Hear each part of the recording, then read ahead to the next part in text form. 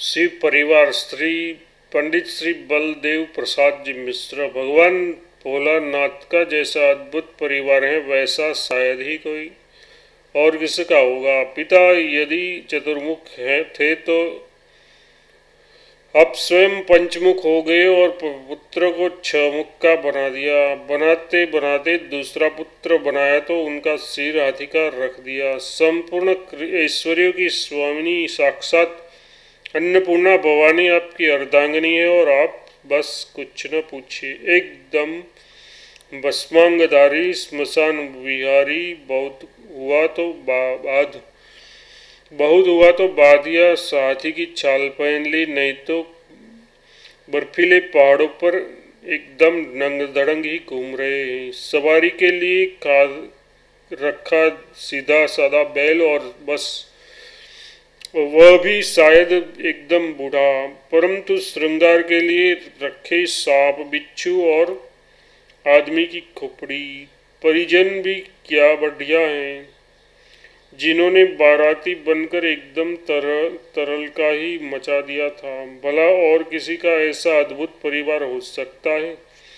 इतना होते हुए भी भोलानाथ कोरे भोलानाथ ही बने, नहीं बने रहे। उन्होंने संपूर्ण देवसेना का अधिप आधिपत्य अपने एक पुत्र को दे डाला। संपूर्ण देवताओं में प्रथम पूज्य का पद, दूसरे पुत्र को बरस दिया संपूर्ण ऐश्वर्य और समृद्धि की अधिष्ठात्री देवी का पद अपनी अर्धांगिनी के लिए रिज़र्व कर दिया और स्वयं देवादिदेव महादेव बन बैठे। अब रही क्या अब रह, रह ही क्या गया? महादेव वे महादेव उनकी अर्धांगिनी।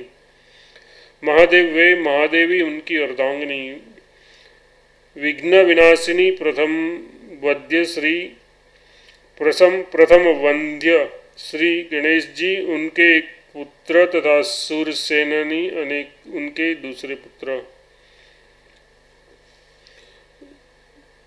रिद्धि सिद्धि उनकी पुत्रवधु और हिमालय के समान सर्वोच्च शिखर उनका निवास स्थान सभी मोर्चे तो सधे हुए हैं। ऐसी स्थिति में यदि उनके लिए कवि कुलगुरु कालिदास ने कहाँ है तो क्या अनुचित कहाँ है?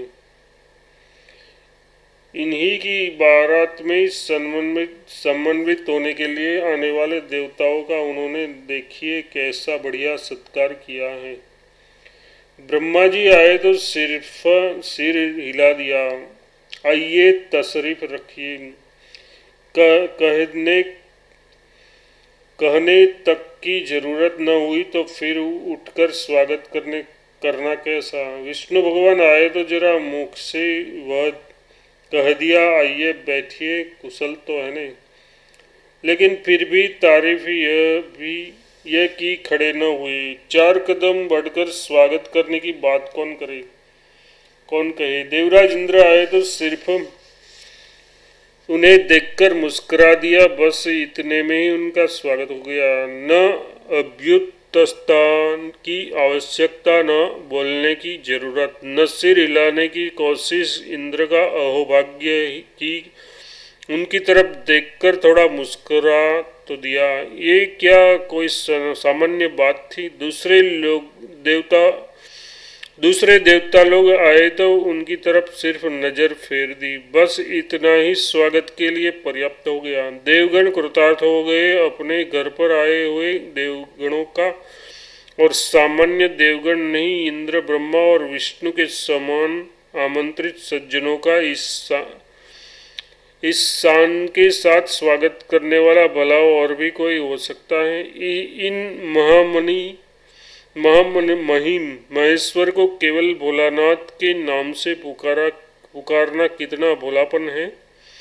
विचित्र तो यह है कि इन महाराजा का एक और तो ऐसा ऐश्वर्य व्यक्त होता है और दूसरी ओर एक ऐसा अद्भुत रूप प्रकट होता है कि जिनसे हमें बरबत इन्हें भोलानाथ कहना पड़ता है। देखिए कैसे महेश्वर हैं, तन में जब जा छार लपेटे बैल सवार हैं।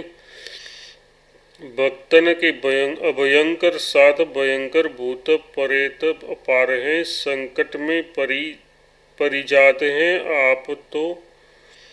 ऑर्डर ऑर्डर दान के हेतु तैयार हैं। भोले सदाशिव क्यों न बने, घर भूली जिन्हें रुचे श्वेत पहाड़ हैं, जिन महाशय का ऐसा अद्भुत वेश हो और जिनकी गृह सामग्री इतनी स्वल्प हो और तुच्छ हो, इनका ये ऐश्वर्य आखिर आया तो कहाँ से आया इस पर भी कवियों ने अपनी बड़ी बड़ी कल्पना चलाई हैं।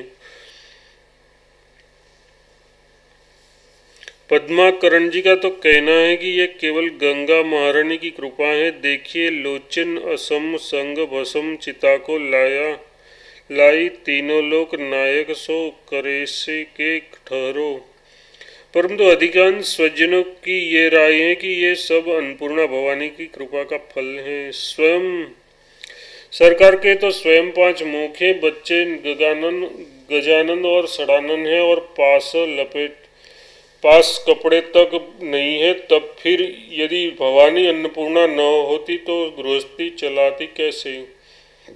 शंकराचार्य ने भी यही कहा है कि देखिए, सवारी के लिए बूढ़ा बेल खोल, खाने के लिए जहर, रहने के लिए सुनी दिखाई, खेलने के लिए स्मशान और आभूषणों के लिए साफ़ भला इस सामग्री वाले का ये प्रबल ऐश्वर्य क्या भवानी जगदम्बा के अतिरिक्त और किसी कारणवश हो सकता है? ऐसी स्थिति में पार्वती जी का ये कहना उचित ही है कि इतना होते हुए भी बेचारी पार्वती की मुश्किलियों से भी इन विषम परिवारों को संभालती हैं, क्योंकि वह परिवार कोई सामान्य परिवार नहीं है। परिवार की व्यक्तियों की तो बात छोड़िए, छोड़ ही दीजिए। यहाँ तो यह शिकायत लगी ही रहती है कि कभी गणेश जी गणेश जी स्वामी कार्तिकेय के खिलाफ फरियाद करते हुए कहते हैं कि इतने, इन्होंने अपने हाथ से मेरे कान उमेट दिए।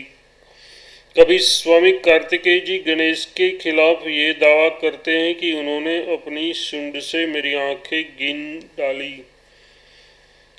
परंतु इनका अस्तबल भी यहाँ, जहाँ इन व्यक्तियों के वाहन पड़े रहा करते हैं, एक अद्भुत खटपट का क्रीड़ास्थल सदैव बना रहता है। अर्धनारीश्वर महादेव ने आधे शरीर की आधे अंग की सवारी रखी है, बैल और आधे अंग की शेर। बैल और वाघ भी कहीं एक साथ से नाथे एक नाथ से नाथे जाते हैं। इसी तरह गणेश जी को दिया, चूहा, खुद रख लिया सांप और स्वामी कार्तिकी जी को दे दिया मोर। अब ये तीनों एक के ऊपर एक क्यों ना सवार, सवारी कैसे? एक के ऊपर एक क्यों ना सवारी कैसे?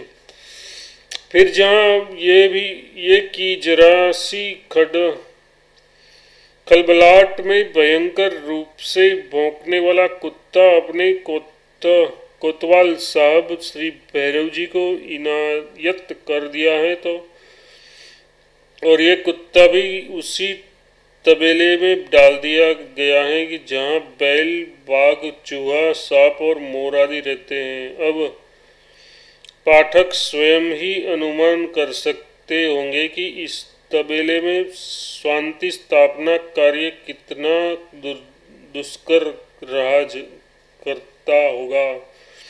भोलानाथ जी को क्या, भोलानाथ जी को क्या है? जब तक शांति रही, तब तक रही, जहाँ अशांत होने होने लगी कि, अशांत होने लगी कि जट उठा, वहाँ से जट उन्होंने समाधि ले ली। ये योगी भी तो अपने घर की इसी गति को देखकर हुए हैं।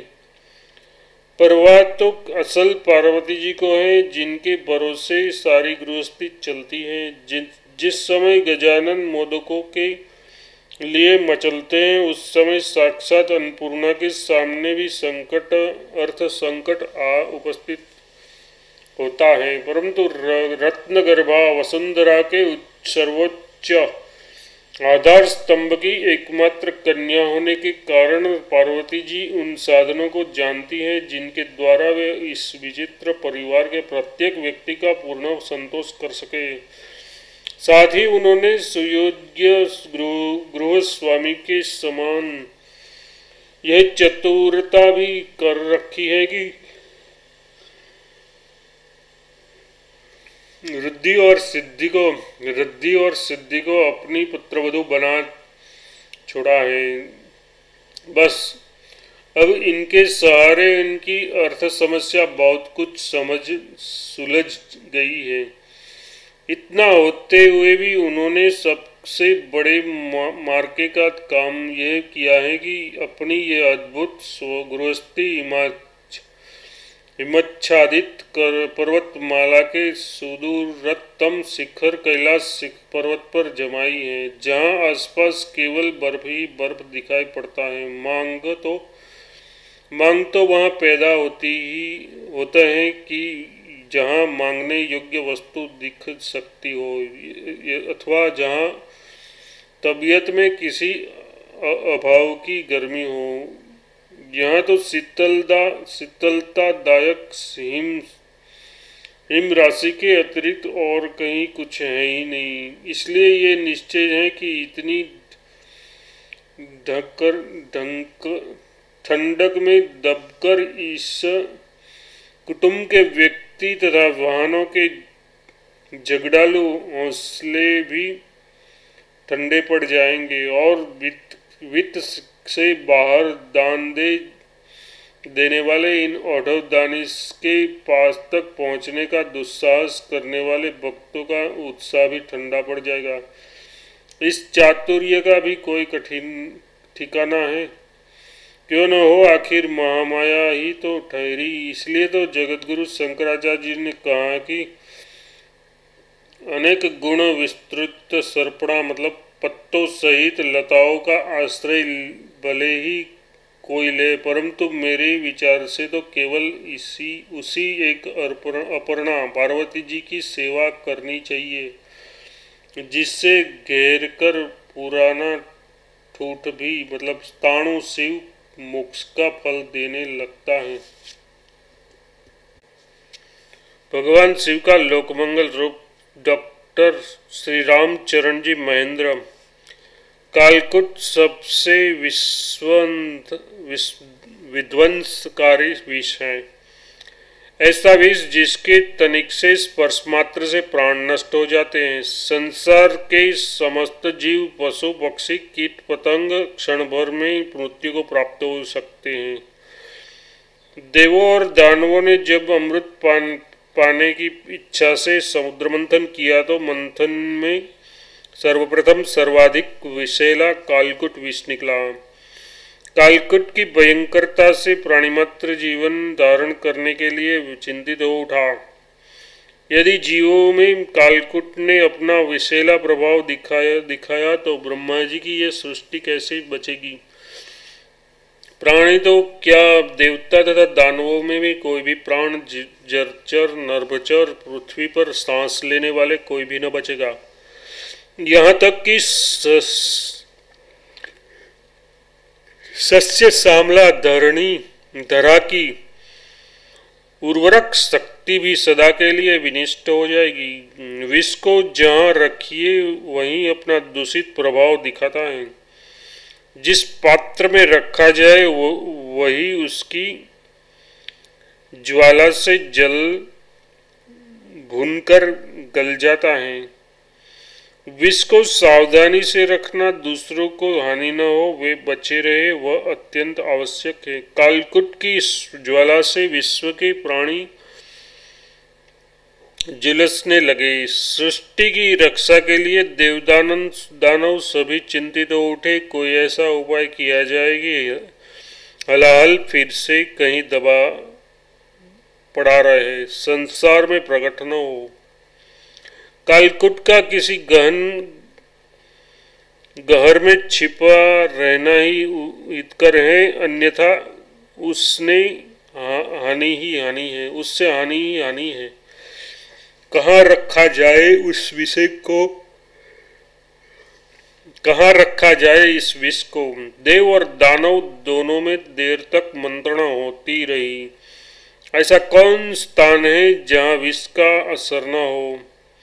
केवल भगवान शिव की ही रक्षा कर सकते हैं। रक्षा की भावना से जो जो भी भगवान की शरण जाता है, शंभु के शांतिमय मुक्त, क्षमाशील और कल्याण रूप का स्मरण करके सहायता की आर्त पुकारता अर्थ पुकार करता है, वह सुरक्षा अवश्य पाता है। शिव का कार्य अर्थ ही मंगलमय, कुशल, क्षेम और मुक्ति प्रदाता है। जो प्राणी भय जो प्राणियों पर शासन करते हैं, वे शिवात्मा कहलाते हैं। जो वायु को वश में रखते हैं, वे सदाशिव शुद्धात्मा कहलाते हैं। जो जीव को वंश में, जीव को वश में रखते हैं, वे परम शिव कहलाते हैं। देवता और दानवों ने भगवान शंकर की विनती की, शिवस्य तो वसे कालो न कालस्य वसे शिव। ये शिव, है शिव, काल आपके अधीन है। आप काल से मुक्त चिदानंद हैं। जिसे मृत्यु को जीतना हो, उसे भगवान, आप में स्थित होना चाहिए। आपका मंत्र ही मृत्युंजय है। ये शंकर, आप त्रयंबक यथार्थ तीन नेत्र वाले हैं। सत्यम शिवम और सुंदरम आपके तीन नेत्र हैं। आप कर्म, भक्ति और ज्ञान को धारण करते हैं। भगवान भू, भुव और स्व भूमि अंतरिक्ष और दुलोक सर्वत्र आप ही परिव्याप्त हैं।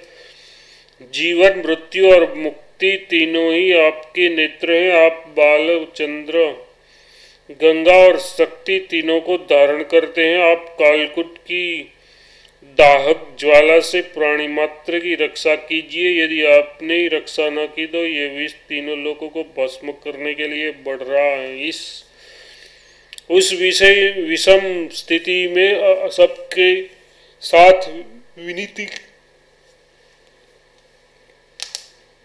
विनती में शिव के आगे जुड़े हुए थे। हाथ विनीति में शिव के आगे जुड़े हुए थे। सबने एकाग्र होकर बड़ी श्रद्धा पूर्वक भगवान शिव का ध्यान किया। शिव का ध्यान सदा ही कल्याणकारी होता है। तात कल्याणकारी कर्म करने वाले की कभी दुर्गति नहीं होती।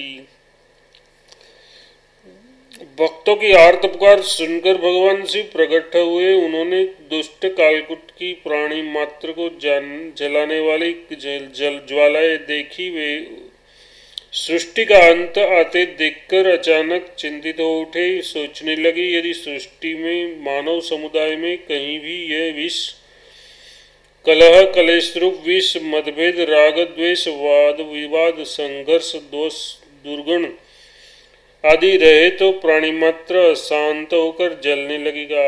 इसी सुरक्षित, इसे सुरक्षित रखने को ऐसी जगह कौन जगह होनी चाहिए कि ये किसी को नुकसान न पहुँचा सके। सभी जीव सुरक्षित रहे। ऐसा निरामद, सुरक्षित स्थान मेरा, स्वयं मेरा ही कंठ कंठ प्रदेश है। यही अलाहल पेट में चला गया तो मृत्यु निश्चित है। बाहर रह गया तो सारी सृष्टि ही भयंकर हो। सृष्टि ही भस्म हो सक, जाएगी, फिर यहाँ यह कहाँ रहे? उन्होंने एक ही आचमन में लोकसंहारी विष को अपने गले में धारण कर लिया। तभी से विष के प्रभाव से उनका कंठ नीले रंग का हो गया। वे नीलकंठ कहलाने लगे और देवों के भी देव महादेव बन गए। हमारे जीवन में नित्य नए नए विष, विकार रागद्वेश कलह, झगड़े होते रहते हैं, किंतु शिव भक्त उनके अशांत नहीं होते। विवेक पूर्ण निर्णय लेते हैं और शिव की परिभक्ति से अपने परम धाम को प्राप्त करते हैं। भगवान नमः शिवाय। भगवान शिव का नित्य धाम महाकैलाश कैलाश दो है, एक महाकैलाश और दूसरा भू कैलाश। वर्तमान में जिसको कैलाश माना जाता है, अनुभवी शिव भक्तगण कहते हैं कि वह तो असली भू कैलाश भी नहीं है। भू कैलाश पर शिवगण और शिव भक्तों के अतिरिक्त अन्य कोई नहीं जा सकता। काशी केदार महात्मय नामक ग्रंथ के चतुर्थ अध्याय में महाकैलाश का वर्णन इस प्रकार आता है। अनंत कोटि ब्रह्मांडों के आधारभूत महोदक महोदक मतलब संभवत इसी को आधुनिक विज्ञान परफेक्ट फ्लूड कहते हैं। महोदक में लाख योजन विस्तृत विस्तृण स्वर्ग स्वर्ण भूमि है। वह लाख योजन ऊँचा परमेश्वर का स्थान है, उसी को वेदवित पुरुष महाकैलाश कहते हैं। उसके चारों ओर पचास हज़ार योजन विस्तृत और बीस हज़ार योजन ऊँची राजत मतलब चांदी की भूमि का गहरी गहरा है। उसी के आठों दिशाओं में मणियों के आठ फाटक हैं।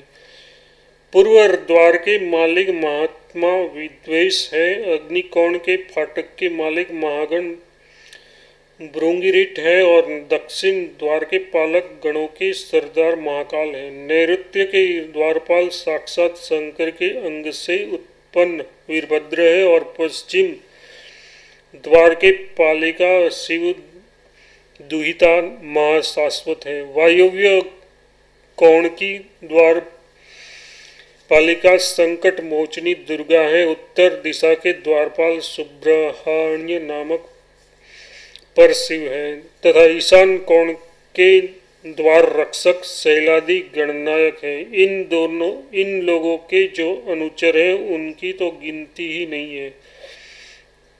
पचास हज़ार योजन विस्तार की ये नगरी है। उसके, उसमें दस हज़ार योजन ऊँचे सौ सौ अरब मतलब एक खरब शिखर मतलब गुबज है, जो मूँगे के बने हुए और चारों घर तरफ़ से घेरे हुए हैं।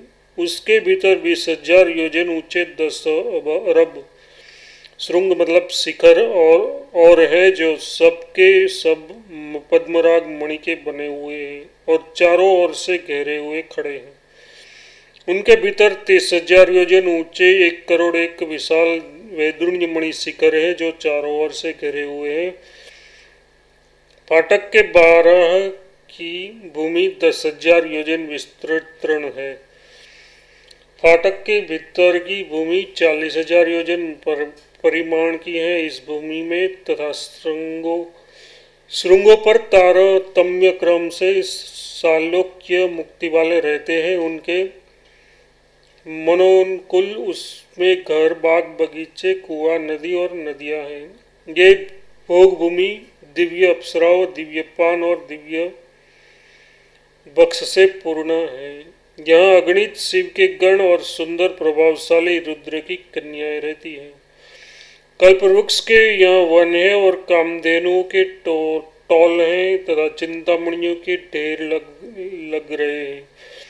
वहाँ पुष्पों के तारतम्य से शिव धर्म परायण, शिव के आराध्य एवं शिव भक्तों के पूजने वाले जो सालक के मुक्ति को प्राप्त कर चुके हैं, बसते हैं। वहाँ जिसको जो वस्तु चाहिए, वही उसके सामने मौजूद रहती है। यही नहीं, लोगों, लोग काल पाकर सारूप्य, सामिप्य और सामिष्टि मुक्ति को भी प्राप्त करते हैं। शिखरों के ऊपर प्रभा से दिशाओं को प्रकाशित करने वाले तथा चालीस हज़ार योजन ऊँचे दस करोड़ पुष्पराग मणि के श्रृंग हैं। उसमें शिवपूजक, गंधर्व, यक्ष, किन्नर, गरुड़, नाग आदि सदा सब भोगों से युक्त होकर रहते हैं। उसके भीतर पचास हज़ार योजन ऊँचे एक करोड़ एक मोदे गोमेद मणि के श्रृंगों का घेर है। यहाँ पर अपने पद से च्युत हुई इंद्रगण शंकर की आराधना करते हुए रहते हैं। इसके बाद साठ हज़ार योजन ऊँचे दस लाख नीलमणि के शिखरों का घेरा है। यहाँ पर मुख हो,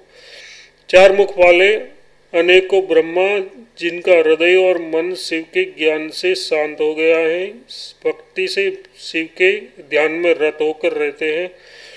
उसके बाद गारुतम मतलब नीलम मणि के एक लाख, एक चमकते हुए श्रृंग है। इसमें, इनमें अनेकों विष्णु निरंतर शिव जी का ध्यान करते हुए रहते हैं। अपना अधिकार समाप्त होने पर मुक्ति की इच्छा से शिव जी के ध्यान द्वारा हृदय के समस्त मल को दूर कर इन सत्तर हज़ार योजन ऊँचे शिखरों में ये लोग रहते हैं। इन सब लोगों को तार तारतम्य से सायुज्य मुक्ति प्राप्त होती है। इसके बाद अस्सी हज़ार योजन ऊँचे, दस हज़ार एक मुक्तामय श्रृंगों का गहरा है। उसमें महात्मा रुद्रगण पशुपास के ज्ञान पशुपास के ज्ञान तथा गुरु सेवा के महात्म्य द्वारा सारूप्य मुक्ति प्राप्त कर हृदय कमल में शिव का ध्यान किया करते हैं। लोगों पर अनुग्रह करने वाले ये अगणित महात्मा नित्य मुक्त हैं। शिव की आज्ञा से नित्य कैलाश में निवास करते हुए ये अपने तेज से दीप्यमान रहते हैं। उसके भीतर नब्बे हज़ार योजन ऊँचे ऊँचे एक हज़ार एक दिव्य स्फटिक के शिखरों का गहरा है। इनमें नदी, नंदी, भृंगी, महाकाल, वीरभद्र आदि रहते हैं, जो परमात्मा शिव की अपर मूर्ति है।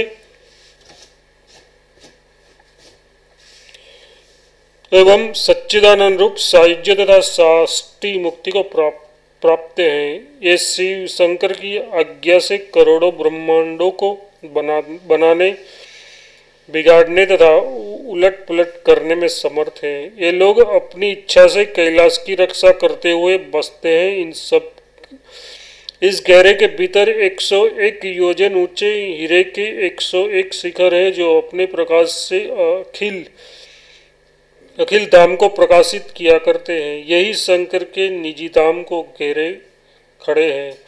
श्री परमेश्वर की और देवी की शक्तियाँ तथा स्वामी कार्तिकेय विद्रा विग्रह राजादि इनमें रहते हैं। वे अंत निवासी नित्यानंदमय है और सदा महेश्वर तथा अंबिका की, जगदम्बा की सेवा करते हैं। ये स्थान ज्योतिर्मयी और लाख योजन ऊँचा है। ये शंकर का धाम साधारण देवताओं के लिए अगम्य है। शिव ज्ञान में परिनिष्ठित पुरुष इस धाम को अंतपुरी कहते हैं। इसके बाद शंकर का निजधाम है जिसमें ज्योतिर्मय ग्यारह श्रृंग और श्रृंग है और ये सांब शुद्ध सदाशिव को घेरे खड़े हैं। शिव जी अनुग्रहात्मक है, शांत है और अपनी ही महिमा से प्रतिष्ठित है। अलौकिक विशाल माल के दिव्य सिंहासन पर वह अपनी पराशक्ति के साथ विराजमान है। बाहरी दसों घेरों के निवासी सदा इनका ध्यान किया करते हैं और शिव जी की आज्ञा से भोग के अंत में मुक्ति चाहते हैं। महाकैलाश की बाती इन्होंने भूप कैलाश में भी अपने योग्य वैसी ही कल्पना संक्षेप में की है। भू कैलाश भी गणों के सहित प्रलय काल में ऊपर बढ़कर अंड का भेदन करता हुआ परिवार के सहित बाहर निकलकर वहीं चला जाता है और उस नित्य अलौकिक महाकैलाश के अनंत भूत हो जाता है। निग्रह और अनुग्रह के व्याज से सदाशिव की मूर्तियों में भेद होता है। जम्बू द्वीप वाले कैलाश और महाकैलाश की भूमिकाएँ उस परमेश्वर के निग्रह निग्रह ग्रह से शाश्वत स्थान है। महामहेश्वर भगवान शिव के आचरणों से शिक्षा पंडित श्री जानकी नाथ जी शर्मा, समस्त इतिहास पुराण तथा आगम ग्रंथों में भगवान शंकर का जो स्वरूप निर्दिष्ट है, उसमें स्पष्ट होता है कि वे सर्व, सर्वत्यागी, सर्वाधिक वित, विरक्त। यहाँ तक कि वस्त्र आभूषण गुह आदि के भी विहीन होकर परमात्म चिंतन में लगरत रहते हैं। विश्व के सर्वश्रेष्ठ सर्वोपरि देवता होते हुए भी योगक्षेम और संपूर्ण वैभव अन्नधन आदि की चिंता से शून्य। संग्रह रहित कैलाश जैसे वन पर्वतों पर निवास करने वाले योग, ज्ञान, विद्या, वैराग्य में सर्वश्रेष्ठ और स्वभाव में सर्वथवा निद्वंद होकर धर्म रक्षा विश्व रक्षा, साधु संतों की रक्षा तथा परोपकार आदि में निरंतर रत रहते हैं। अज्ञानियों को स्मशान के भस्म लपेटे सारे के राशि को जटाजुट बनाए, कंठ में नील विष पान किए हुए अंगों में साप लपेटे, नंग दड़ंग, एकांत में उन्मत्त ऐसे जैसे तांडव आदि नृत्य करते, घूमते या सिद्धासन लगाकर बैठे हुए रूप को देखकर सहसा उनका रूप अमंगल प्रत जनक प्रतीत हो सकता है। किंतु वे विश्व में सर्वाधिक मंगलमय है और उनका स्मरण मात्र या शिव ये नाम लेना भी समस्त अमंगलों को दूर कर परम मंगल, विश्व मंगल सर्वोपरि मंगल का संचार कर देता है। स्त्रोत्र स्तोत्र श्रेष्ठ शिव महिमा, महिमनम स्तोत्र में पुष्पदंजी ने सर्वदा ठेगी कहा है। स्मशाने स्वा क्रीड़ा स्मरहर पिशाचर सहचरा जिता भस्मा लेपस नृपकरी ब्रह्मचारी के वेश में कुट रूप से आत्म स्वरूप का परिचय देते हुए उन्होंने पार्वती से स्वयं ही कहा था कि, भला, देखो तो सही, शिव का रूप कितना अकुरूप है। आँखें बंदर जैसी है, शरीर में चिता भस्म और सांप लपेटे रहते हैं, उनके कुल खानदान माता पिता पिता, पितामह, जाति, गोत्र आदि का कोई पता नहीं है। खेती, व्यापार, अन्न, धन गुरु से भी वे शून्य है एक दिन भोजन पान के लिए भी उनके पास कुछ नहीं है। तुमने ऐसे व्यक्ति को जो विवाह करने में, करने के लिए तप आरंभ किया है तो भला तुमसे बढ़कर संसार में मूर्ख और कौन हो सकता है? इसके उत्तर में भगवती पार्वती ने यही कहा था कि महादेव जी तो विश्वेश्वर विश्व विग्रह ही है। वे ही संपूर्ण विश्व के स्वामी हैं। उनके खेती व्यापार, नौकरी की क्या आवश्यकता है? वे नंगे रहे, गज चर्म धारण करे या को, दुर्कुल रेशमी वस्त्रों से सुसज्जित हो। वे चाहे शरीर में साब लपेटे या दिव्य रत्न जड़ित आभूषण धारण करे। वे त्रिशूल, कप्पर आदि ले या उनके ललाट पर चंद्रमा चमकते रहे। उनसे उनके तात्विक रूप में कोई अंतर नहीं आता तथा न उनसे उनकी विश्व विग्रहता या विश्व स्वामित्वता में कोई अंतर आने वाला है। वास्तव में संपूर्ण ज्ञानियों, योगियों संतों एवं महात्माओं और ऋषि मुनियों के वे ही आदर्श ध्येय ज्ञ भी हैं। गोस्वामी तुलसीदास ने ऐसा अशुभ अशुभ एवं दारिद्र्य के समान वेश बनाने वाले भगवान शंकर को समस्त मंगल कल्याण सिद्धियों का मूल स्त्रोत्र तथा तथा उन्हें परम कृपालु एवं समस्त श्रेष्ठ सद्गुणों से मंडित माना है। गरल कंठ उर नल सिर माला, अवि अशिव बेस शिव धाम कृपाला। उन्होंने कामदेव को जलाकर भस्म कर दिया, जो समस्त देवों की दोषों की कहानी साधक, सिद्ध एवं योगियों का बाधक रहा है। इसलिए गोस्वामी तुलसीदास दास जी सबसे पहले अपने हृदय को निष्काम बनाने के लिए उन्हीं से प्रार्थना करते हैं। जाही दिन पर नेह करो कृपा मर्दन मयन। उनका ये भी मानना है कि सकाम व्यक्ति कोई भी अच्छा काम नहीं कर सकता। न वह उचित बात का निर्णय कर सकता है और न कभी उससे शांति या सच्चा सुख भी सुलभ हो सकता है। बिनु संतोष न कामस न सहाय काम अच्छत सुख सपने हो नाही गोस्वामी तुलसीदास जी ये भी मानते हैं कि उनका रामचरित्र मानस काव्य तथा संसार के अन्य भी श्रेष्ठ काव्य, नाटक आदि भगवान शिव की कृपा से ही सुंदरतम बन सकते हैं। बने हैं और उनका विश्व प्रचार हो सकता है तथा उनके विश्व का कल्याण हो सकता है। वास्तव में कालिदास पास, बहुभूति आदि सभी महाकवियों ने अपने काव्यों, नाटकों का आरंभ मंगल में भगवान शंकर की वंदना, प्रार्थना स्तुति आदि से किया है। जिनमें से थोड़े से पद, पद्यों का संग्रह सुजाभित सुभाषित रत्नाकर, सुभाषित रत्नावली वल्लभ देवकृत सुभाषितावली और सुभाषित रत्न भंडारगार आदि में हुआ है। देवताओं और असुरों के द्वारा समुद्र मंथन के समय सर्वप्रथम उसमें से हलाल विष ही प्रकट हो गया, जिससे सारा विश्व जलने लगा, देवता असुर भी दग्ध होने लगे। उन पर भगवान विष्णु ने शंकर जी से कहा कि आप महादेव, देवाधिदेव और हम सभी के अग्रणीय महादेव हैं। इसीलिए समुद्र मंथन से उत्पन्न पहली वस्तु आपकी आपकी ही होती है। हम लोग सो सादर उन्हें आपको भेंट कर रहे हैं और उसे स्वीकार कीजिए। भगवान विष्णु की प्रार्थना पर शंकर जी ने उन महाविष का पान की कर लिया। देवताओं का कष्ट दूर हो गया, लेकिन उनसे उन उन पर अपना कुछ प्रभाव दिखा उसने उन पर अपना कुछ प्रभाव दिखलाया, जिससे उनका कंठ नीला हो गया, जो दूषण न होकर उनके लिए भूषण हो गया। बड़ी आश्चर्य की बात हुई कि कालकुट हलाहल विष का पान कर वे सर्वथा अजरमर और अविनाशी बन गए, तथा देवता लोग जिन्होंने समुद्र मंथन से उत्पन्न अमृत का पान किया, वे सर्वथा अजरमर नहीं हुए। अभी तो कुछ तो कल्पांत आयु वाले हुए और प्रायः अधिक लोग पुण्य क्षीण होते हुए जहाँ जहाँ भारत से अलग अलग क्षेत्रों में उत्पन्न होकर रोते रहते, रोते रहे कि यही, यदि किसी प्रकार भारत में जन्म होता तो क्षण भर भी, क्षण भर की सत्संगति भगवत भगवत चरणों का ध्यान कर पूर्व जन्मों के सत्कर्मों को समर्पित कर मुक्त हो जाते। उनका वह अमृतपान कल्याणकारी नहीं हो सका। भगवान शंकराचार्य ने इस विषय पर बड़ी सुंदर उपेक्षा की है कि कहाँ, कहा है कि जरा मृत्यु का अपहरण करने वाले अमृत का पान करते करते इंद्रादि सभी देवता भी विपन्नता, यथार्थ मृत्यु को प्राप्त हो जाते हैं। किंतु विकराल फ़ैन वाले, हलाहल विष का पान करने वाले महाकाल भगवान शंकर पर काल का कोई प्रभाव नहीं पड़ता।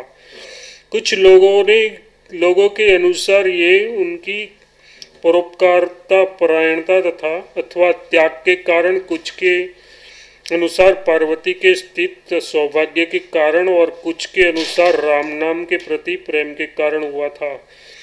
राम पूर्व, उत्तर, तापिनी, राम रहस्य आदि उपनिषदों के अनुसार इसी नाम के प्रभाव से काशी में सबको मोक्ष मिलता है। प्रायः सभी पुराणों में इसी बात का समर्थ है, भगवान शिव में अनंत गुण है, जिसकी कोई भी गणना संभव नहीं है। भले कोई जल की बूंदों, पृथ्वी के रेणु कणों की भी गिनती गिन गिन ले, पर उनकी गुण गुणावलियों की कोई गणना की कल्पना भी नहीं कर सकता। उनके स्वाभाविक गुण ऐसे हैं जो किसी अन्य प्राणी या देवता में संभव ही नहीं है।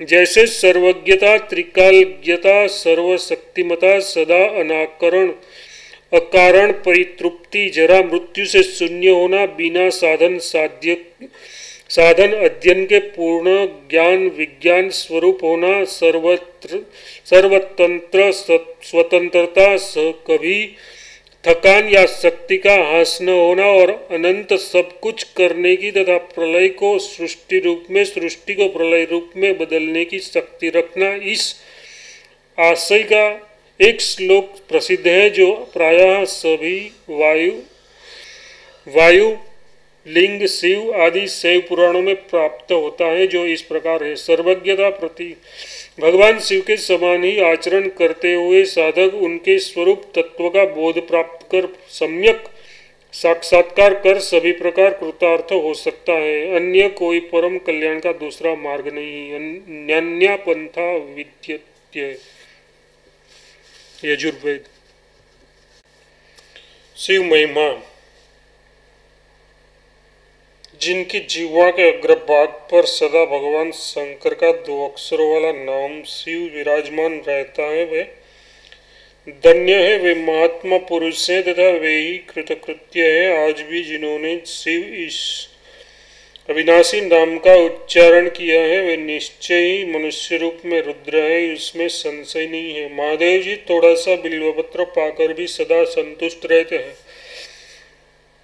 फूल और जल अर्पण करने से भी प्रसन्न हो जाते हैं। भगवान शिव सदा सबके लिए कल्याण स्वरूप है। ये पत्र पुष्प और जल से ही संतुष्ट हो जाते हैं।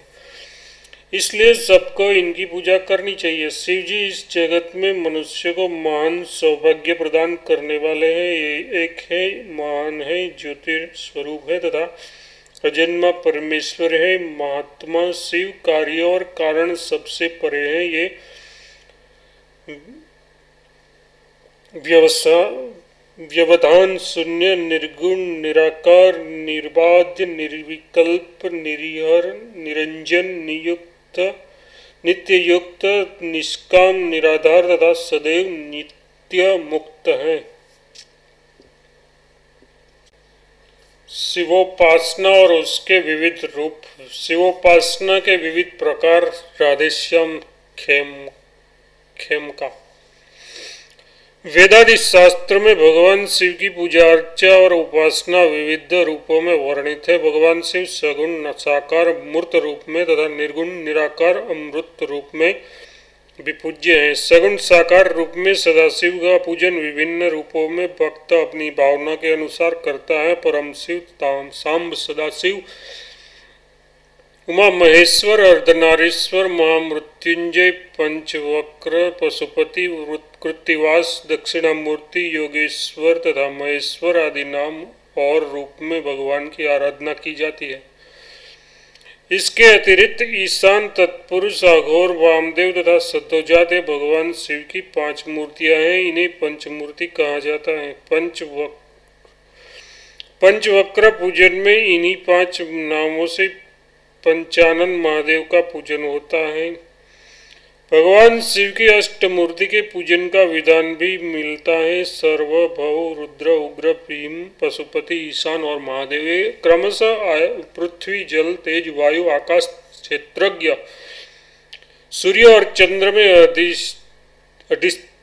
अधिष्ठित मूर्तियाँ हैं। रुद्र भगवान सदाशिव के पर ब्रह्म तत्व को प्रकट करता है, ब्रह्मा, विष्णु, महेश्वर नामक आत्मत्रय का अवलंबन होने पर भी भगवान रुद्र संहारकर्ता महेश्वर स्वरूप को ही अपना प्रधान अधिष्ठान मानते हैं। इसलिए कार्यकाल में उनकी मूर्ति घोरा नाम मानी गई है, घोरा मानी गई है। यह रूप माया से मुक्त है तथा परब्रह्म का सच्चा स्वरूप है। इस दृष्टि से रुद्र ही परब्रह्म है और भगवान सदाशिव के नाम रूप में अधिष्ठित है। निर्गुण, निराकार रूप में लिंगोपासना, शिवलिंग के पूजन की विशेष महिमा बतलाई गई है। पूजन के पूर्व नवनिर्मित शिवलिंग की प्रतिष्ठा करनी चाहिए। वाणलिंग एवं नर्मदेश्वर लिंग सालग्राम शिला की तरफ़ स्वप्रतिष्ठित माने जाते हैं। इनमें प्रतिष्ठा की आवश्यकता नहीं रहती। इसके अतिरिक्त मंदिर आदि स्थानों में पूर्व दक्षिण, पूर्व प्रतिष्ठित लिंग, स्वयंभू लिंग तथा ज्योतिर्मयी आदि देवों की पूजा में आह्वान, विसर्जन की आवश्यकता नहीं होती। विशेष रूप से पार्थिव लिंग पूजन में प्रतिष्ठा तथा आह्वान विसर्जन आवश्यक होता है। शास्त्रों में तो यहाँ तक लिखा है कि शिवलिंग में सभी देवताओं का पूजन किया जा सकता है। विविध प्रकार के शिवलिंग के निर्माण की विधि बताई गई है। लिंग बताई गई है गंध लिंग मतलब कस्तूरी चंदन और कुमकुम से निर्मित पुष्पलिंग मतलब विविध सौर सौरभमयी पुष्पों से निर्मित रत्नमय लिंग मतलब रथ से, रज से निर्मित यव गोधुम सालिंग लिंग मतलब जौ, गेहूँ, चावल के आटे से निर्मित। इसके अतिरिक्त लवणमय लिंग, शर्करामय लिंग, गुणोत्तम लिंग, भस्म लिंग इत्यादि कई प्रकार के लिंगों का निर्माण विविध फलों की दृष्टि से किया जाता है। मुख्य रूप से पारद लिंग, स्फटिक लिंग स्वर्ण आदि, धातुमय लिंग, नीलम आदि, मणि, नीलम आदि, रमण, रत्नमय लिंग का विशेष महत्व बताया गया है। शिवोपासना में जानने के योग्य कुछ आवश्यक बात है। भगवान सदाशिव के उपासक के लिए कुछ विशेष नियमों का विधान है। जिसमें त्रिपुंड धारण भस्मालेपन रुद्राक्ष धारण आदि अवश्य माना जाता है। शास्त्रों में लिखा है कि देवो भूतवा यजेत देवम। अपने जिस इष्ट देव की उपासना करनी हो, अनंतर और बाह्य दोनों प्रकार से उस देवता के स्वरूप में स्थित होना चाहिए। इसीलिए जिसका अंतर्मन जिस, जितना शुद्ध होगा, उसे इष्ट देव की उपासना से इतनी ही जल्दी लाभ प्राप्त होगा। इसी प्रकार बाह्य रूप से भी देव रूप होकर ही उपासना करने का विधान है। इसलिए पूजन आराधना में पूर्व अंगन्यास आदि करने की आवश्यकता होती है। शिवार्चन के प्रकार, भगवान शंकर की बाह्य उपासना, बाह्य उपचारों की पूजा के साथ साथ अन्य कई प्रकार की उपासना बलि उपासना विधि बताई गई है, जो विभिन्न फलों को प्रदान प्रदाती है। मंत्र उपासना में पंचाक्षर नमः शिवाय, षडाक्षर मंत्र, ओम नमः शिवाय मंत्र का जप, लघु मृत्युंजय, महामृत्युंजय आदि मंत्रों का जप विशेष रूप से प्रशस्त है। इन जप अनुष्ठान आदि से मृत्यु भय दूर होकर दीर्घायु युक्त की, दीर्घायुष्य की प्राप्ति होती है। साथ ही अमृतत्व यथार्थ मोक्ष की प्राप्ति भी होती है। भगवान सदाशिव की उपासना में यजुर्वेद की रुद्राध्याय का विशेष महत्व है। समस्त वेद राशि के मध्य मणि के रूप में यह रुद्राध्याय विराजमान है। रुद्या रुद्या रुद्राध्याय का सीधा पाठ सड़ंग कहलाता है। नमक युक्त नमक चमक से युक्त ग्यारह अनुवावों में किया गया पाठ एकादशी रुद्री के नाम से प्रसिद्ध है। ये अनुष्ठान तीन प्रकार से होता है, पाठ्यात्मक, अभिषेकात्मक और हवनात्मक। भगवान शंकर को अभिषेक अत्यंत प्रिय है, अतः अभिषेकात्मक अनुष्ठान सदाशिव की आराधना में विशेष प्रशस्त माना जाता है। भगवान शिव की प्रसन्नता के लिए गंगा जल के अतिरिक्त रुद्रोदक रत्नोदक इक्षुरस दुग्ध, पंचामृत आदि अनेक रत्नों से रुद्राध्याय के मंत्रों द्वारा अभिषेक किया जाता है। एकादशी एकादशनी रुद्री की ग्यारह आवृत्ति होने पर लघु रुद्र की संज्ञा दी गई है। लघुरुद्र की ग्यारह आवृत्ति होने पर महारुद्र कहा जाता है। महारुद्र की ग्यारह आवृत्ति होने पर अतिरुद्र होता है। इस प्रकार उत्तरोत्तर इन तीनों प्रकार के अनुष्ठानों की अपने शास्त्रों में बड़ी महिमा बताई गई है। अपनी शक्ति और सामर्थ्य के अनुसार भक्तजन उनका अनुष्ठान करते कराते हैं। इस इसके अतिरिक्त नाम जप स्त्रोत्र पाठ मानस पूजा, शिव चरित्र, चिंतन, कीर्तन, शिव पुराण आदि ग्रंथों का स्वाध्याय, श्रवण, मनन, निधिध्यासन और व्रतोपास आदि उपासना के विभिन्न साधन बताए गए हैं। मानस पूजा, शास्त्रों में पूजा को हज़ार गुना अधिक महत्वपूर्ण बना बनाने के लिए एक उपाय बताया गया है। वह उपाय है मानस पूजा, जैसे पूजा से पहले करके फिर बाह्य वस्तुओं से पूजा करें। अथवा विधि, सुविधा अनुसार बाद में भी की जा सकती है। मन कल्पित यदि एक फूल भी चढ़ा दिया जाए तो करोड़ों बाहरी फूल चढ़ाने से बराबर होता है। इसी प्रकार मानस चंदन धूप दीप नैवेद्य भी भगवान को करोड़ों गुना अधिक संतोष दे सकेंगे। अतः मांस पूजा बहुत अपेक्षित है। वस्तु भगवान को किसी वस्तु की आवश्यकता नहीं, वस्तुतः वस्तुतः भगवान को किसी वस्तु की आवश्यकता नहीं, वे तो भाव के भूखे हैं। संसार में ऐसे दिव्य पदार्थ उपलब्ध नहीं है जिससे परमेश्वर की पूजा की जा सके।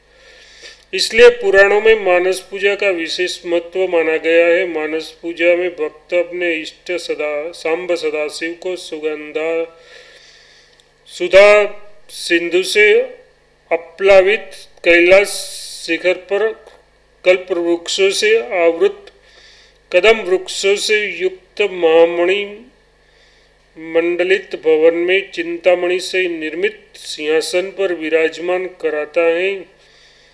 स्वर्ग लोक की मंदरा, मंदाकिनी गंगा के जल से अपने आराध्य को स्नान कराता है। कामधेनु गौ के दुग्ध से पंचामृत का निर्माण कराता है। निर्माण करता है। वस्त्राभूषण भी दिव्य अलौकिक होते हैं। पृथ्वी रूपी गंध का अनुलेपन करता है। अपने आराध्य के लिए कुबेर की पुष्प वाटिका से स्वर्ण कमल को पुष्पों का चयन करता है। भावना से वायुयुक्त धूप अग्निरूपी दीपक तथा अमृत रूपी नैवेद्य भगवान को अर्पण करने की विधि है। इसके साथ ही त्रिलोक की संपूर्ण वस्तु सभी उपचार सच्चिदानंद घन परमात्मा प्रभु के चरण में भाव से भक्त अर्पण करता है। ये है मानस पूजा का स्वरूप। इसकी एक संक्षिप्त विधि भी पुराणों में वर्णित है, जो नीचे लिखी जा रही है। ओम लम पृथ्व्यात्मक गंध परिकल्पयामी प्रभो, मैं पृथ्वी रूपी गंध चंदन आपको अर्पण करता हूँ। ओम हम आकाशमत पुष्पम परिकल्पयामी प्रभो, मैं आकाश रूपी पुष्प आपको अर्पण करता हूँ। तीसरा, ओम यम वाच्यात्मक धूपम परिकल्पयामी। प्रभु, में वायुदेव के रूप में धूप आपको प्रदान करता हूँ। फोर्थ, ओम रम व्यात्मक दीपम दर्शयामी। प्रभु, में अग्निदेव के रूप में दीपक आपको प्रदान करता हूँ। पाँच, ओम वम अमृतात्मक नैवेद्यम निवेदयामी। मैं प्रभु, मैं अमृत के समान नैवेद्य आपको निवेदित करता हूँ। छठु ओम सोम, सर्वात्मक सर्वोपचार समर्पयामी। प्रभु, में सर्वात्मा के रूप में, संसार के सभी उपचारों को आपके चरणों में समर्पित करता हूँ। इन मंत्रों से भावनापूर्वक मानस पूजा की जा सकती है। मानस पूजा से चित्त एकाग्र और सहस सरस हो जाता है, इससे बाह्य पूजा में भी रस मिलने लगता है। यद्यपि इसका प्रचार कम है, तथापि इसे अवश्य अपनाना चाहिए। यहाँ पाठकों के लाभार्थ भगवान शंकराचार्य चरित मानस, पूजा स्त्रोत्र मूल तथा हिंदी अनुसार के साथ किया जा रहा है। शिव मानस पूजा, रत्ने कल्पित मानस हिम जले स्नानम च ब्रह्म हे दयानिधे हे पशुपति, हे देवेश ये रत्न निर्मित सिंहासन, शीतल जल से स्नान, नाना रत्न विभूषित दिव्य वस्त्र, कस्तूरी कांग, कस्तूरी का गंध समन्वित, चंदन जुई चंपा और बिल्व पत्र से रचित पुष्पांजलि तथा धूप और दीप, ये सब मानसिक पूजोपहार ग्रहण कीजिए।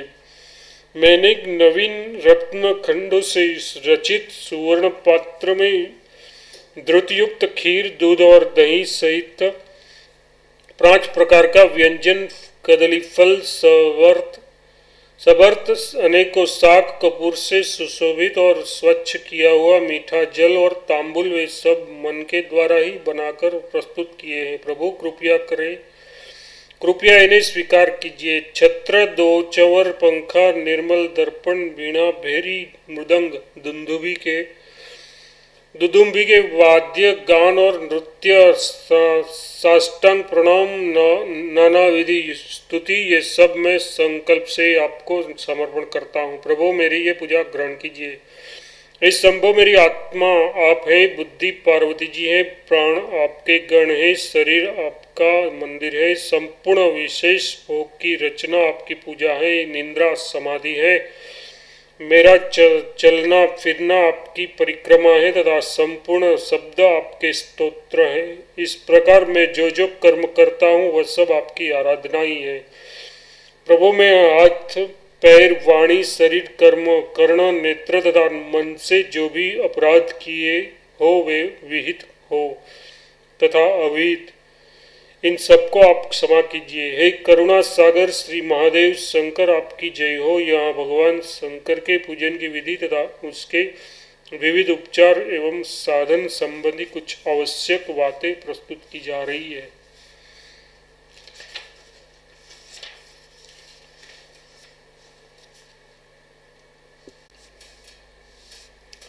पूजा के विविध उपचार। संक्षिप्त और विस्तार के भेद से पूजा के अनेकों प्रकार के उपचार हैं। पाँच, दस, सोलह, अठारह, छब्बीस, चौबीस था राजोपचार आदि। यहाँ इन्हें दिया जा रहा है। पाँच उपचार, एक गंध, पुष्प, धूप, दीप और नैवेद्य। दस उपचार, पाद्य, अर्घ, आचमन, स्नान, वस्त्र, निवेद। निवेदन, गंध, पुष्प, धूप, दीप, नैवेद्य। सोलह उपचार हैं। पाद्य, अर्घ आचमन, स्नान, वस्त्र, आभूषण, गंध, पुष्प, धूप, दीप, नैवेद्य, आचमन, तांबुल स्तव पाठ तर्पण और नमस्कार। अठारह उपचार हैं, आसन, स्वागत, पाद्य, अर्घ, आचमन, स्नान, स्नानीय, वस्त्र, यज्ञोपवीत, भूषण, गंध, पुष्प, धूप, दीप, नैवेद्य, दर्पण, माल्य, अनुलेपन और नमस्कार। छब्बीस उपचार हैं, आसन, अभ्यंजन, उदर उदरतन निरीक्षण, समार्जन सर्पीपन आवाहन, पाद्य, अर्घ, आचमन, स्नान, मधुरपर्क पुनराचमन यज्ञ पवित्र वस्त्र, अलंकार, गंध, पुष्प, धूप, दीप, नैवेद्य, तांबुल, पुष्पमाला, अनुलेपन, सैया, चामर, व्यंजन, आदर्श, नमस्कार, गायन, वादन, नर्तन, स्तुतिगान, हवन, प्रदक्षिणा दंतकाष्ट और विसर्जन। चौसठ उपचार शिव शिव शक्ति पूजा में एक है पाद्य अर्घ आसन तेलाम्बंग तेलाम्बंग मज्जन शाला प्रवेश पाठोप पाठोपवेशन, दिव्य शास्त्रानीय उदरतन, स्नोदक स्नान, तीर्थाभिषेक तत्वस्त्र परिमार्जन, अरुण दुलभ धारण अरुणोत्तर धारण आलेप, मंडप प्रवेश पीठो प्रवेश, चंदनादि दिव्य गंधानुलेपन, नाना विविध पुष्पमर्पण नानाविध पुष्पार्पण, भूषण मंडप प्रवेश, भूषण मणि पीठो प्रवेश रत्न मुकुट धारण चंद्र सकल सीमंत सिंदूर तिलककरण कालांजन, कर्णपाली, नासाभरण अदर यवक ग्रंथन भूषण कनक चित्र पदक महापदक मुक्तावली इक्कावली देवचंदक केयूर चतुष्य वलियावली, उर्मिकावली, कांचीदाम कटिसूत्र शोभारव्याभरण, पाट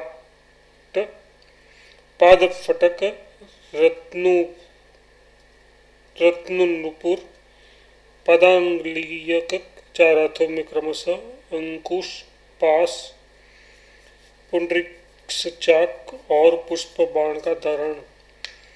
माणिक्य पात का सिंहासन रोहण पर्योपवेशन अमृतासव, सेवन, आचमनीय, कपूर वाटिका, आनंदो लास सहाय आनंदोल्लास विलास सहाय, मंग मंगला कीर्तन श्वेत छत्र, चामरद्र दर्पण, तान तालवृंत गंध पुष्प धूप दीप नैवेद्य, आचमन, पुनराचमन, तांबुल और वंदना।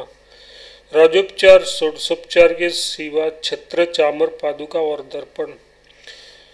पूजा की कुछ आवश्यक बातें। आसन समर्पण में आसन के ऊपर पाँच पुष्प भी रख लेने चाहिए। छह पुष्पों से स्वागत करना चाहिए। पाँच में, पाद्य में चार पल जल और उसमें सही श्यामा घास दुब, कवल, कमल और अपराजिता देनी चाहिए। अर्घ में चार पलक जव और गंध पुष्प अक्षत यव दुब, तिल कुशा का अग्रभाग तथा श्वेत सरसों से देने चाहिए। आचमन में छह पल, जल और उसमें जायफल, लवंग और कंकोड़ का चूर्ण देना चाहिए। मधुपर्क में काश्य पा काश्य पात्र स्थित द्रुत मधु और दधि देना चाहिए। मधुपर्क में बाद वाले आचमन में केवल एक पल विशुद्ध जल ही आवश्यक होता है। स्नान के लिए पचास पल जल का विधान है। वस्त्र बारह अंगुल से ज़्यादा नवीन और जोड़ा होना चाहिए। आभरण स्वर्ण निर्मित होना हो और उनमें मोती आदि जड़े हो। गंध द्रव्य में चंदन, अगर कपूर आदि एक में मिला दिए गए हो। एक पल के लगभग उनका परिमाण कहा गया है। पुष्प पचास से अधिक हो, अनेक रंग के हो, धूप गुग्गल का हो और काश्य पात्र में निवेदन किया जाए। नैवेद्य में एक पुरुष के भोजन योग्य वस्तु होनी चाहिए। चर चर्व्य, चौस्य, लेह, पेय, चारों प्रकार की सामग्रियाँ हो। दीप कपास की बत्ती से कपूर आदि मिलाकर बनाया गया हो। बत्ती की लंबाई चार अंगुल से लगभग लगभग हो और दृढ़ हो।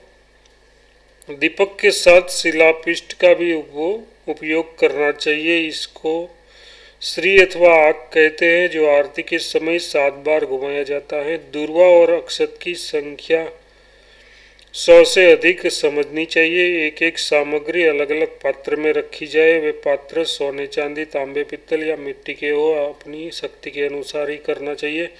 जो वस्तु अपने पास नहीं हो, उसके लिए चिंता करने की आवश्यकता नहीं और अपनी शक्ति सामर्थ्य के अनुसार जो मिल सकती हो, उससे प्रयोग में हाल, उसमें, उसके प्रयोग में आलस्य, प्रमाद और संकीर्णता नहीं करनी चाहिए। पूजा के पाँच प्रकार शास्त्रों में पूजा के पाँच प्रकार बताए गए हैं। अभिगमन, उपादान, योग, स्वाध्याय और इज्जिया। देवताओं के स्नान को साफ़ करना, लिपना, निर्माल्य, हटाना, ये सब कर्म अभिगमन के अंतर्गत है। गंध, पुष्प आदि पूजा सामग्री का संग्रह उपादान है। इष्ट देव की आत्म रूप से भावना करना योग है। मंत्रार्थ का अनुसंधान करते हुए जप करना सुक्त स्त्रोत्र आदि का पाठ करना, गुणगान, लीला आदि का कीर्तन करना वेदांत शास्त्र आदि का अभ्यास करना, ये सब स्वाध्याय है। उपचारों के द्वारा अपने आराध्य देव की पूजा इज्जा है। ये पाँच प्रकार की पूजाएँ क्रमशः साष्टी सामीप्य साष्टी सामीप्य, सालोक्य, सायुज्य और सारूप्य मुक्ति देने वाली हैं। भगवान सदाशिव की पूजा की उपासना में एक रहस्य की बात यह है कि जहाँ एक और रत्नों से परिनिर्मित लिंगों की पूजा में अपार समूह समारोह के साथ राजोपचार आदि विधियों से विशाल वैभव का प्रयोग होता है। वहाँ सरलता की दृष्टि से केवल जल, अक्षत बिल्व पत्र और मुखबाद मतलब मुख में बम बम की ध्वनि से भी परिपूर्णता मानी जाती है और सदाशिव की कृपा सहज उपलब्ध हो जाती है। इसलिए वे आशुतोष और उदार शिरोमणि कहे गए हैं। फूल तोड़ने का मंत्र, प्राय प्रातः कालिक स्नानादि कृत्यों के बाद देव पूजा का विधान है।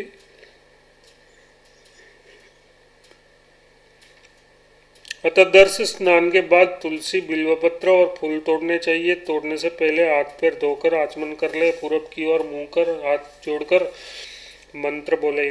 मानु शौक कुरुस्वन तम स्नान त्यागम च माँ कुरु। देवता पुरा पूजनार्थ प्रथ प्रथयामी वनस्पति। पहला फूल तोड़ते समय ओम वरुणाई नमः। दूसरा फूल तोड़ते समय ओम व्योमाय नमः और तीसरा फूल तोड़ते समय ओम पृथ्वी नमः बोले। बिल्वपत्र तोड़ने का मंत्र अमृतोद्भव श्री वृक्ष महादेव प्रिय सदा गृहामी तव पत्राणी शिव पूजनार्थ मार्दनाथ बिल्वपत्र तोड़ने का निषिद्ध काल चतुर्दशी, अष्टमी, नवमी, चतुर्दशी और अमावस्या तिथियों को, संक्रांति के समय और सोमवार को बिल्वपत्र न तोड़े। किंतु बिल्वपत्र शंकर जी को बहुत प्रिय है, अतः निषिद्ध समय में पहले दिन का रखा बिल्वपत्र चढ़ाना चाहिए। शास्त्र ने तो यहाँ तक कहा है कि यदि नूतन बिल्वपत्र न मिल सके तो चढ़ाए हुए बिल्वपत्र को ही धोकर बार बार चढ़ाता रहे। बासी जल कुल, फूल का निषेध। जो फूल, पत्ते और बस, जल बासी हो गए हो, उन्हें देवताओं पर न चढ़ाइए किंतु तुलसीधर और गंगा जल बासी नहीं होते, तीर्थों का जल भी बासी नहीं होता, वस्त्र यज्ञोपविद और आभूषण में भी निमाल्य का दोष नहीं आता, माली के घर में रखे हुए फूलों में बासी दोष नहीं आता मणि रत्न सुवर्ण वस्त्र आदि बने गए। फूल बासी नहीं होते, इन्हें प्रोक्षण कर चढ़ाना चाहिए। नारद जी ने मानस मतलब मन में, मन के द्वारा भावित फूलों को सबसे श्रेष्ठ फूल माना है उन्होंने देवराज इंद्र को बताया कि बताया है कि हज़ारों करोड़ों बाह्य फूलों को चढ़ाकर जो फल प्राप्त किया जा सकता है, वह केवल एक मानस फूल चढ़ाने से प्राप्त हो जाता है। इसमें मानस पुष्प ही उत्तम पुष्प है, बाह्य पुष्प तो निर्माल्य ही होते हैं। मानस पुष्प में बासी कोई, बासी आदि कोई दोष नहीं होता। इसकी, इसलिए पूजा करते समय मन से गढ़कर फूल चढ़ाने का अद्भुत आनंद अवश्य प्राप्त करना चाहिए। सामान्यतः निषिद्ध फूल यहाँ उन निषेधियों को दिन, निषेधों को दिया जा रहा है जो सामान्यतः सब पूजा में सब फूलों पर लागू होते हैं। भगवान पर चढ़ाया हुआ फूल निर्माल्य कहलाता है, सुंधा सुंगा हुआ अंग में लगाया हुआ फूल यदि कोटि में आया है, उन्हें न चढ़ाइए भौरे के सूंघने से फूल दूषित नहीं होता, जो फूल अपवित्र बर्तन में रख दिया गया हो, अपवित्र स्थान में उत्पन्न हो, आग से सुजल गया हो, कीड़ों से विशुद्ध हो, सुंदर न हो, कि जिसकी पंखड़ियाँ बिखर गई हो, जो पृथ्वी पर गिर पड़ा हो, जो पूर्णतः खिल न रहा, खिला न हो, उसमें, जिसमें खट्टी गंध या सड़ाद आती हो, निर्गंध हो, या उग्र गंध वाला हो, ऐसे पुष्पों को नहीं चढ़ाना चाहिए। जो फूल बाह्य बाएँ हाथ पहनने वाले आद्यो वस्त्र आर्क और रेड के पत्ते में रखकर लाए गए हो, वे फूल ताज्य हैं। कलियों को चढ़ा, चढ़ाना मना है, किंतु वह निषेध, कमल कमल पर लागू नहीं है। कमल को जल में डुबाकर धोना मना है। केवल जल से उसका प्रोक्षण कर लेना चाहिए। शिव पूजन के लिए विहित पुष्प, पत्र पुष्प। भगवान शंकर पर फूल चढ़ाने का बहुत अधिक महत्व है। बतलाया जाता है कि तपशील, सर्वगुण संपन्न वेद में निष्णांत किसी ब्राह्मण को सौ सुवर्ण दान करने पर जो फल प्राप्त होता है, वह भगवान शंकर पर सौ फूल चढ़ा देने से प्राप्त हो जाता है। कौन कौन पत्र पुष्प शिव के लिए विहित है और कौन कौन निषेध है, उनकी जानकारी अपेक्षित है। अतः उनका उल्लेख यहाँ किया जाता है। पहली बात यह है कि भगवान विष्णु के लिए जो जो पत्र और पुष्प विहित है, वे सब भगवान शंकर भी शंकर भी चढ़, चढ़ाए जाते हैं। केवल केतकी केवड़ा का निषेध है। शास्त्रों के, शास्त्रों ने कुछ फूलों के चढ़ाने से मिलने वाले फल का तात तारतम्य बतलाया है। जैसे दस सुवर्ण माप के बराबर सुवर्ण दान का फल एक आग के फूल को चढ़ाने से मिल जाता है। हज़ार आग के फूलों की अपेक्षा एक कनेर का फूल, हज़ार कनेर के फूलों की चढ़ाने से अपेक्षा एक बिल्व पत्र से फल मिल जाता है और हज़ार बिल्व पत्रों की अपेक्षा एक गुमाकुल मतलब द्रोण पुष्प होता है। इस तरह हज़ार गुमा से बढ़कर एक चिचेड़ा, हज़ार चिचेड़ों अपामार्गों से बढ़कर एक कुश का फूल, हज़ार कुश पुष्पों से बढ़कर एक समी का पत्ता, हज़ार समी के समी के पत्तों से बढ़कर एक नीलकमल, हज़ार नीलकमलों से बढ़कर एक दतुरा हज़ार धतुरे से बढ़कर एक समीका फूल और अंत में बतलाया है कि समस्त फूलों की जातियों में सबसे बढ़कर नीलकमल होता है। भगवान व्यास ने कनेर की कोटी में चमेली, मोल मोलसिरी, पटला, मदार श्वेत कमल समी के फूल और बड़ी बट, पटकैया को रखा है। इसी तरह दतुरे की कोटी में नागचंपा और पुनांग को माना है। शास्त्रों ने भगवान शंकर की पूजा में गोल श्री मतलब बक, बकुल के फूल को ही अधिक महत्व दिया है। भविष्य पुराण ने भगवान शंकर पर चढ़ाने योग्य और भी फूलों के नाम गिनाए हैं। करवीर मतलब कनेर, मोरश्री मतलब आक दतुरा पाठर बड़ी कटेरी कुरैया, कांस, मंदार अपराजिता, समी का फूल कुंभजक शंख पुष्पी चिचीड़ा, कनल, कमल, चमेली, नागचंपा, चंपा, खस्त, खस्तगर, नागकेसर, किंकिरात मतलब कर, करंटक अर्थात पीले फूल वाले कटक, सरैया, गुमा शीशम गुलर, जयंती, बेला, पलाश, बेलपत्ता कुसुम्भ, पुष्प, कुंकुम अर्थात केसर, नीलकमल और लाल कमल। जव एवं जल में उत्पन्न जितने सुगंधित फूल हैं, सभी भगवान शंकर को प्रिय हैं। शिवार्चा में निषिद्ध पत्र पुष्प कदम्ब, सारस, सारहीन फूल या कठुमर, केवड़ा, शिशिर, तिनतीणी, बकुल, मोलसिरी, कोष्ठ, केथ, गाजर बहेड़ा, कपास, गंभारी पत्रकंटक सेमल अनार धव वसंत ऋतु में खिलने वाले कंद विशेष गुंद, जूही, मदंती, सर्ज और दोप, दोपहरिया के फूल भगवान शंकर पर नहीं चढ़ाने चाहिए। वीर मित्रोदय में उनका संकलन किया गया है। कदम्ब, बकुल और कदम्ब पर विशेष विचार। इन पुष्पों का कहीं विधान और कहीं निषेध मिलता है। अतः विशेष विचार द्वारा निषिद्ध निष्कर्ष प्रस्तुत किया जाता है। कदम शास्त्र का एक वचन है, कदम कुसुम्बे शंभु सम्यते सर्व सिद्धि यथार्थ कदम और दतुरे के फूलों से पूजा करने से सारी सिद्धियाँ मिलती है। शास्त्र का दूसरा वचन मिलता है, कदम तथा फलगु मतलब गंधहीन आदि के फूल शिव के पूजन के अत्यंत निषिद्ध हैं। इस तरह एक वचन से कदम का शिव पूजन में निषेध और दूसरे वचन से निषेध मिलता है।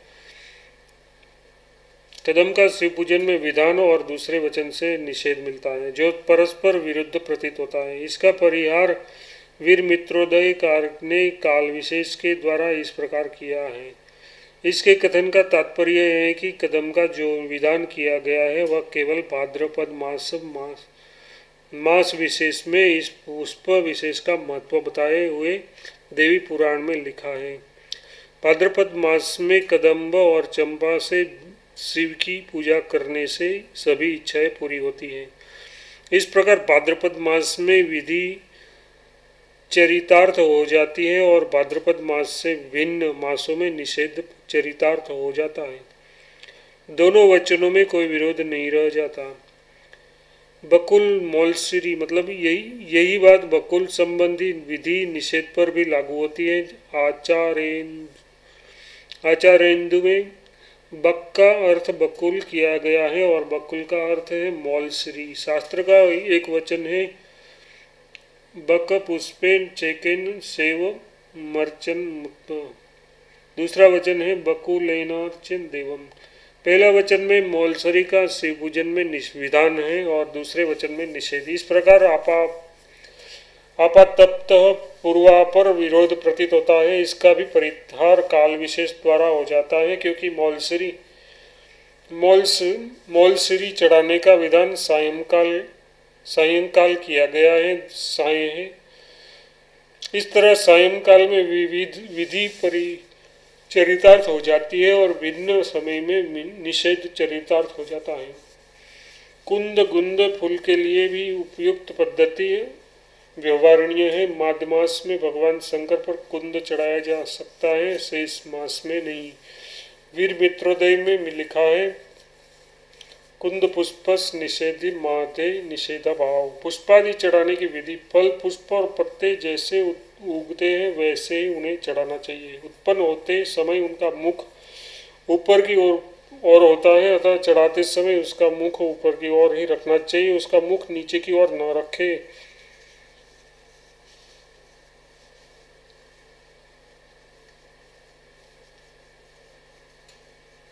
दुर्वा एवं तुलसी दलों को अपनी और और बिल्व पत्र को नीचे मुख कर चढ़ाना चाहिए। इनसे भिन्न पत्तों को ऊपर मुख या नीचे मुख कर दोनों ही प्रकार के चढ़ाना चढ़ाया जा सकता है। दाहिने हाथ से करतल को उठान कर मध्य अनिमा का, अनिमा और अंगुष्ठे की सहायता से फूल चढ़ाना चाहिए। उतारने की विधि चढ़े हुए फूलों को अंगूठे और तर्जनी की सहायता से उतारें। पूजा की तैयारी पूजन से पूर्व पूजा की आवश्यक तैयारी कर ले, ताजे जल को कपड़े से छानकर कलश में भरे उदभू कुंभ उदकुंभ कलश के जल को सुवासित करने के लिए कपूर और केसर के साथ चंदन घिसकर मिला दे, अक्षत को केसर या रोली से। हल्का रंग ले, पूजा सामग्री के रखने का प्रकार पूजा की किसी वस्तु को किधर किस वस्तु को किधर रखना चाहिए, इस बात का भी शास्त्र ने निर्देश किया है। इसके अनुसार वस्तुओं को यथास्थान सजा देनी चाहिए। बाई और सुवासित जल से भरा उन, उदकुंभ मतलब जलपात्र, घंटा, धूपदानी तथा तेल का दीप और दाई और दूध का दीप रखे। सामने कुमकुम मतलब केसर और चंदन के साथ घिसा गाढ़ चंदन रखे पुष्पादि हाथ में तथा चंदन ताम्र पात्र में ताम्र पात्र में न रखे। भगवान के आगे चौकोर जल का घेरा डालकर नि, निवेद की वस्तु रखे।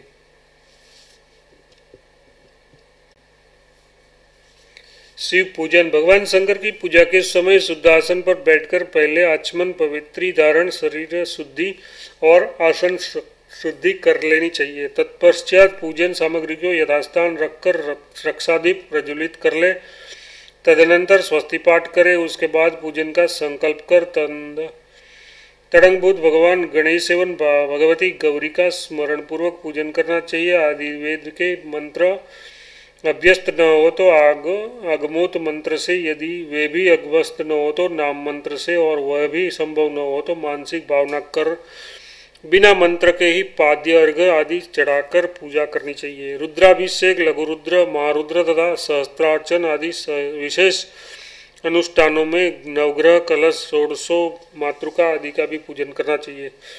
पूजन का संकल्प सकाम, दाहिने हाथ से कुशत्रय, पुष्प, अक्षत जल तथा द्रव्य रखकर इस प्रकार संकल्प करें। गणेश स्मरण, गौरी स्मरण नंदीश्वर पूजन करे, फिर वीरभद्र पूजन, कार्तिक पूजन, कुबेर पूजन, कार्तिक मुख पूजन सर्व पूजन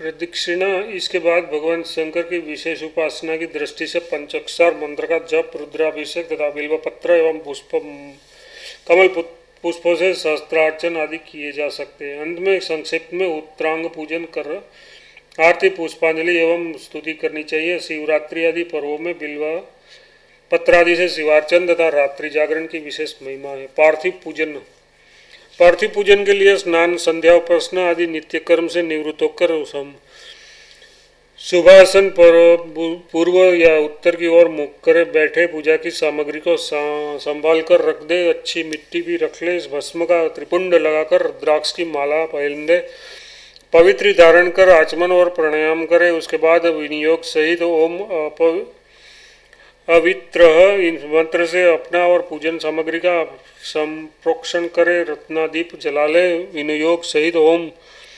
पृथ्वीत्या इस मंत्र से आसन को पवित्र कर ले, हाथ में अक्षत और पुष्प लेकर स्वस्ति वाचन तथा गणपति स्मरण करे। इसके बाद दाहिने हाथ में अर्घपात्र लेकर उसके, उसमें कुशपत्र कुशत्रय पुष्प अक्षत जल और द्रव्य रखकर निम्नलिखित संकल्प करे, सकाम संकल्प, ओम विष्णु विष्णु विष्णु अद्य मम, सर्वारिष्ट। इस प्रकार संकल्प के बाद निम्नलिखित मंत्र से भूमि की प्रार्थना करे सर्वधारणे ओम सर्वधारणे धरे देवी, ओम हराय नम। इस मंत्र पढ़कर मिट्टी इसके, मिट्टी को अच्छी तरह देख कर कंकर आदि निकाल दे। कम से कम 12 ग्राम मिट्टी हो।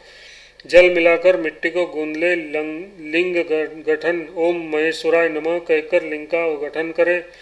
यह अंगूठे से न छोटा हो और न बित्ते बित्ते से बड़ा।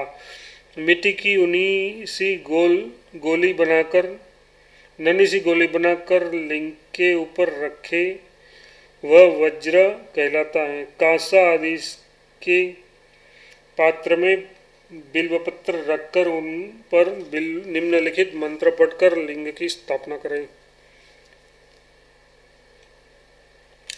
प्रतिष्ठा ओम पाणी नम ओम शिव, यह प्रतिष्ठो भवा यह कहकर लिंग की प्रतिष्ठा करें। विनियोग। विनियोग से इस अपने और देवता दुर्वा अथवा कुश के स्पर्श करते हुए तर तर तर अंगों में न्यास करें। ध्यान के अंतर्गत वो इस प्रकार न्यास करने के पश्चात भगवान सदैव सदैव का ध्यान करें। ध्यान के अनंतर आवाहन, शासन, वाद्य, पर्ग आदि उपचारों से भगवान पार्थिव ईश्वर का पूजन करने की अंत अनंतर अष्टमूर्तियों की पूजा करनी चाहिए। अष्टमूर्तियों की पूजा गंध, अक्षत, फूल के द्वारा भगवान शंकर की आठों मूर्तियों की आठों दिशाओं में पूजा करें।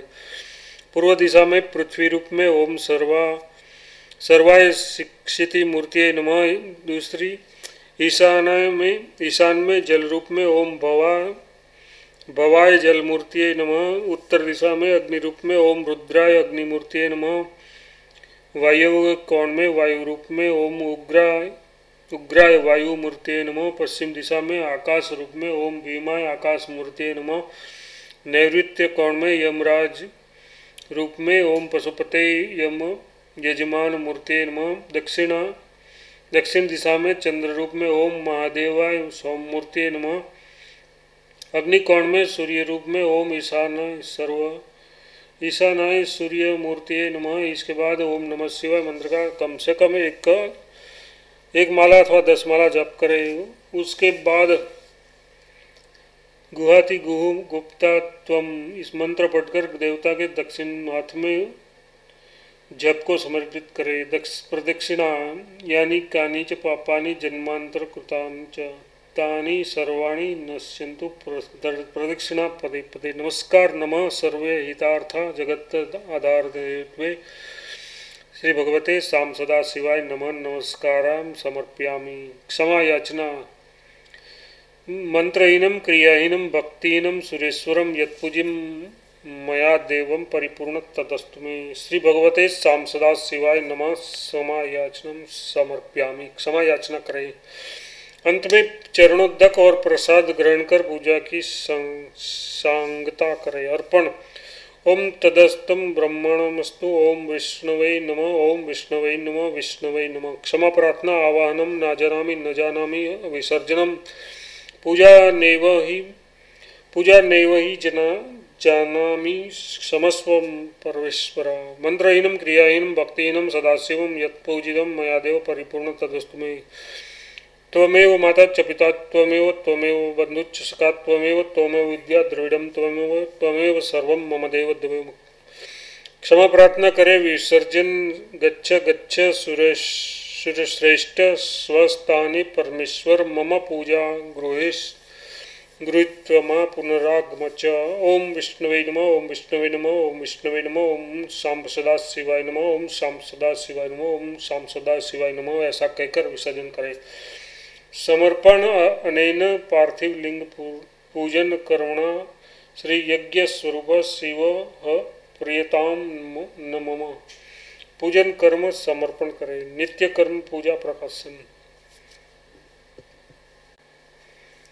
शिव नाम की महिमा, श्री जन जनक नंद सिंह जी। न ऐसे कालो न च बंधु मुक्ति न यह पुमात्र सर्वशास्त्रों में भगवान के दो रूप माने गए एक सगुण और दूसरा निर्गुण। वास्तव में दोनों रूप परस्पर भिन्न है। निर्गुण रूप में निष्क्रियता होने से गुण का खोना संभव नहीं है। तथापि वही माया में प्रविष्ट होकर भक्तों के शरणार्थ धर्म संस्थापना जब पूजा इत्यादि के अर्थ निर्गुण से सगुण रूप धारण कर लेते हैं। स्वरूप वेद से उपासना में भी भेद है। एक निर्गुण उपासना कहलाती है और दूसरी सगुण उपासना। इनमें निर्गुण उपासना अत्यंत निलष्ट है। सब जब तक मनुष्य परमात्मा के निर्गुण स्वरूप को अच्छी तरह से नहीं समझ लेता, तब तक सगुण उपासना छोड़कर अन्य कोई उपासना नहीं हो। अन्य कोई उपासना नहीं है। शिव पुराण वायु संहिता में सगुण उपासना के आठ भेद बताए गए हैं। यथा भक्तों भक्तों में प्रीति पूजा का अनुमोदन, स्वयं अर्चा करना, प्रभु के निमित्त अंगों की चेष्टा करना, कथा श्रवण में भक्ति, स्वर, नेत्र और अंगों की विक्रियता विक्रिया, भगवान का नित्य स्मरण और उनका ही आश्रय। इस प्रकार के चिन्ह जिसमें हो, वही सर्वश्रेष्ठ है। चाहे वह मलेच्छी क्यों न हो। यद्यपि श्रवण, कीर्तन, स्मरण, पाद्य सेवन, अर्चन, वंदन वंदन, हास्य, दास्य, सर सरव्य और आत्मनिवेदन, इत्यादि सभी समान फलप्रद हैं। तथापि उनमें स्मरण विशेष रूप से उल्लेखनीय है। निम्न निरंतर नाम स्मरण से मनुष्य का अंतकरण शुद्ध होकर हृदय में एक प्रकार की आत्मशक्ति उत्पन्न होती है, जो बहुत शीघ्र ही उस, उनको अपना अभिष्ट फल प्राप्त करा देती है। ये तो भगवान के अनेक नाम है, किंतु भगवान स्वयं कहते हैं कि वरान ने मेरा शिव वह वह नाम सर्व उत्मोत्तम है। वही परमात्मा है शिव यह नाम मुझ ब्रह्मा की अभिव्यक्ति है। शिव नाम से यथार्थ में मुझे ही समझो, जो वेदांत से प्रतिपादित अव्यक्त पर ब्रह्म है, द्रैक्षर शिव ही भी वही है। दो अक्षरों का यह शिव नाम पर परब्रह्म स्वरूप एवं तारक है, उससे भिन्न कोई तारक नहीं है। भगवान मायापति है, वह भगवान मायापति है, इस हेतु भगवान के नाम के साथ उनकी माया का भी नाम होना आवश्यक है। शक्ति शक्तिमान से भिन्न नहीं है और न वह कभी शक्तिमान को छोड़कर रहे, रह सकती है। दोनों का नाम एक साथ मिलकर उच्चारण करने की प्रथा प्राय सभी संप्रदायों में देखी जाती है।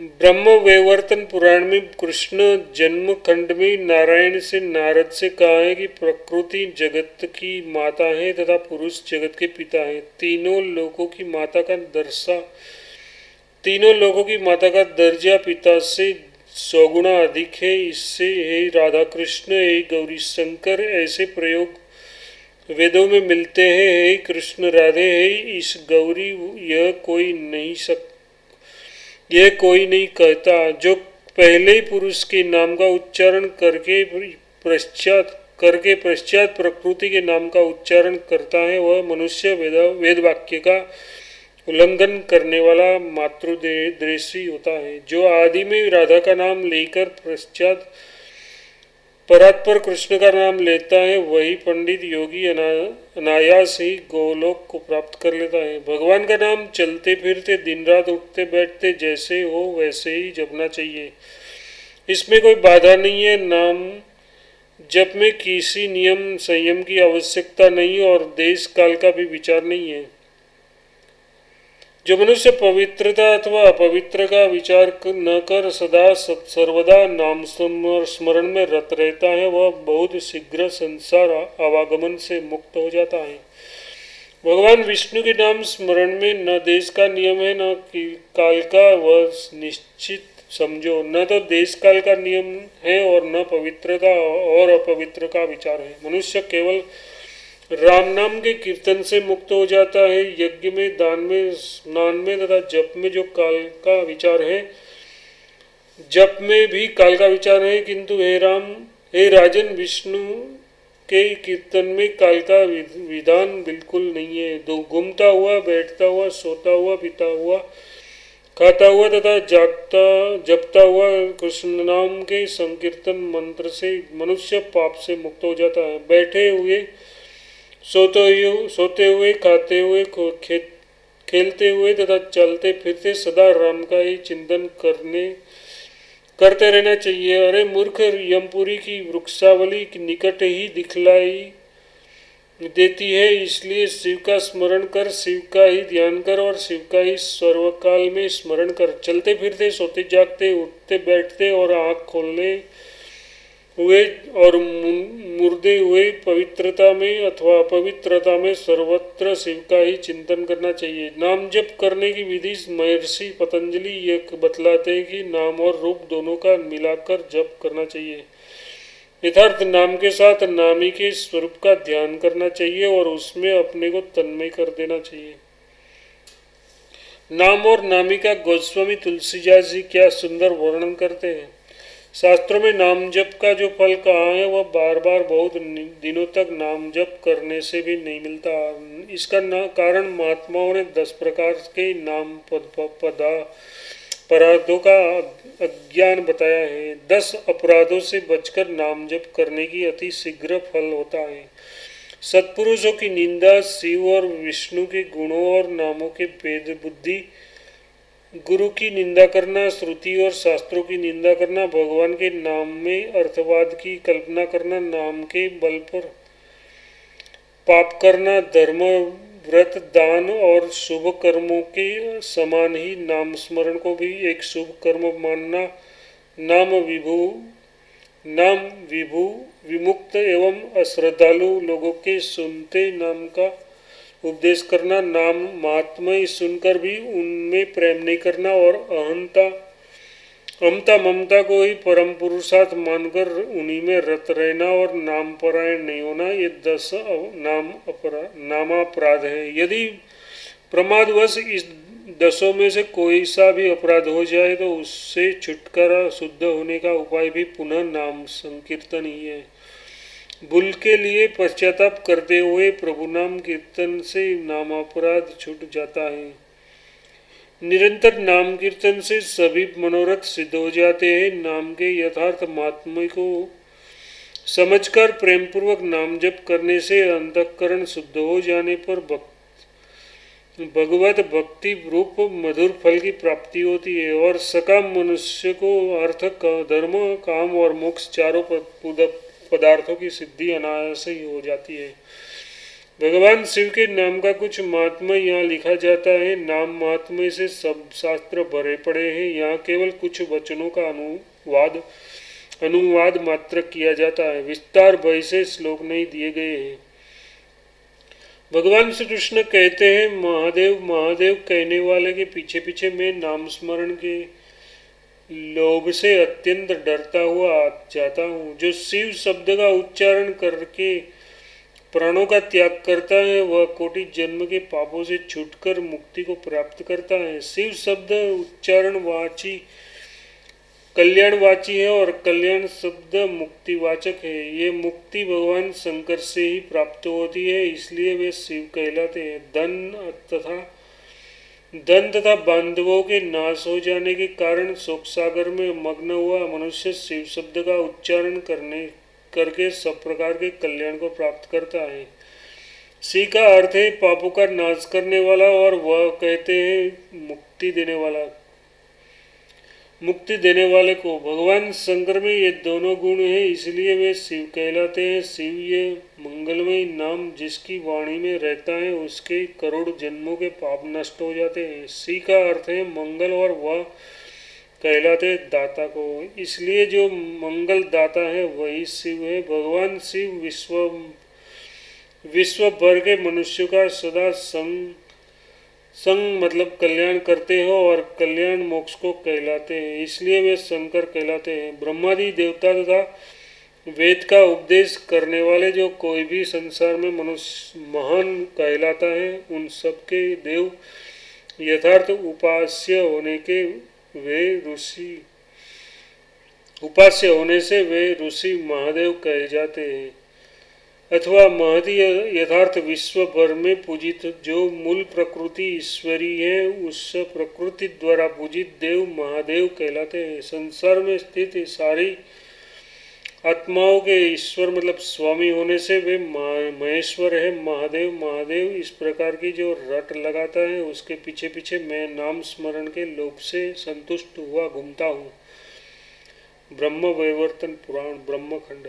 शिव जी ने मृत्यु को देखकर यहाँ कहा कि इसने इसने मरण काल में मेरा नाम लिया है, मुझे लक्षण करके अथवा और किसी वस्तु के अभिप्राय से जो मेरा नाम अकाध अक्षर जोड़कर अथवा घटाकर भी कहता है, उससे मैं सत्य ही उस, अपना लोक प्रदान करता हूँ। इसने मरते समय प्रहर शब्द का उच्चारण किया है, केवल हर शब्द ही परम पद का देने वाला है। फिर उसने तो प्र शब्द अधिक लगाया, कहा है, यमराज से मेरा आदेश कहा, कह दो कि जो शिव नाम के जपने वाले हैं, उन्हें तो तुम नमस्कार किया करो। जो शिव जो लोग शिव को नमस्कार करते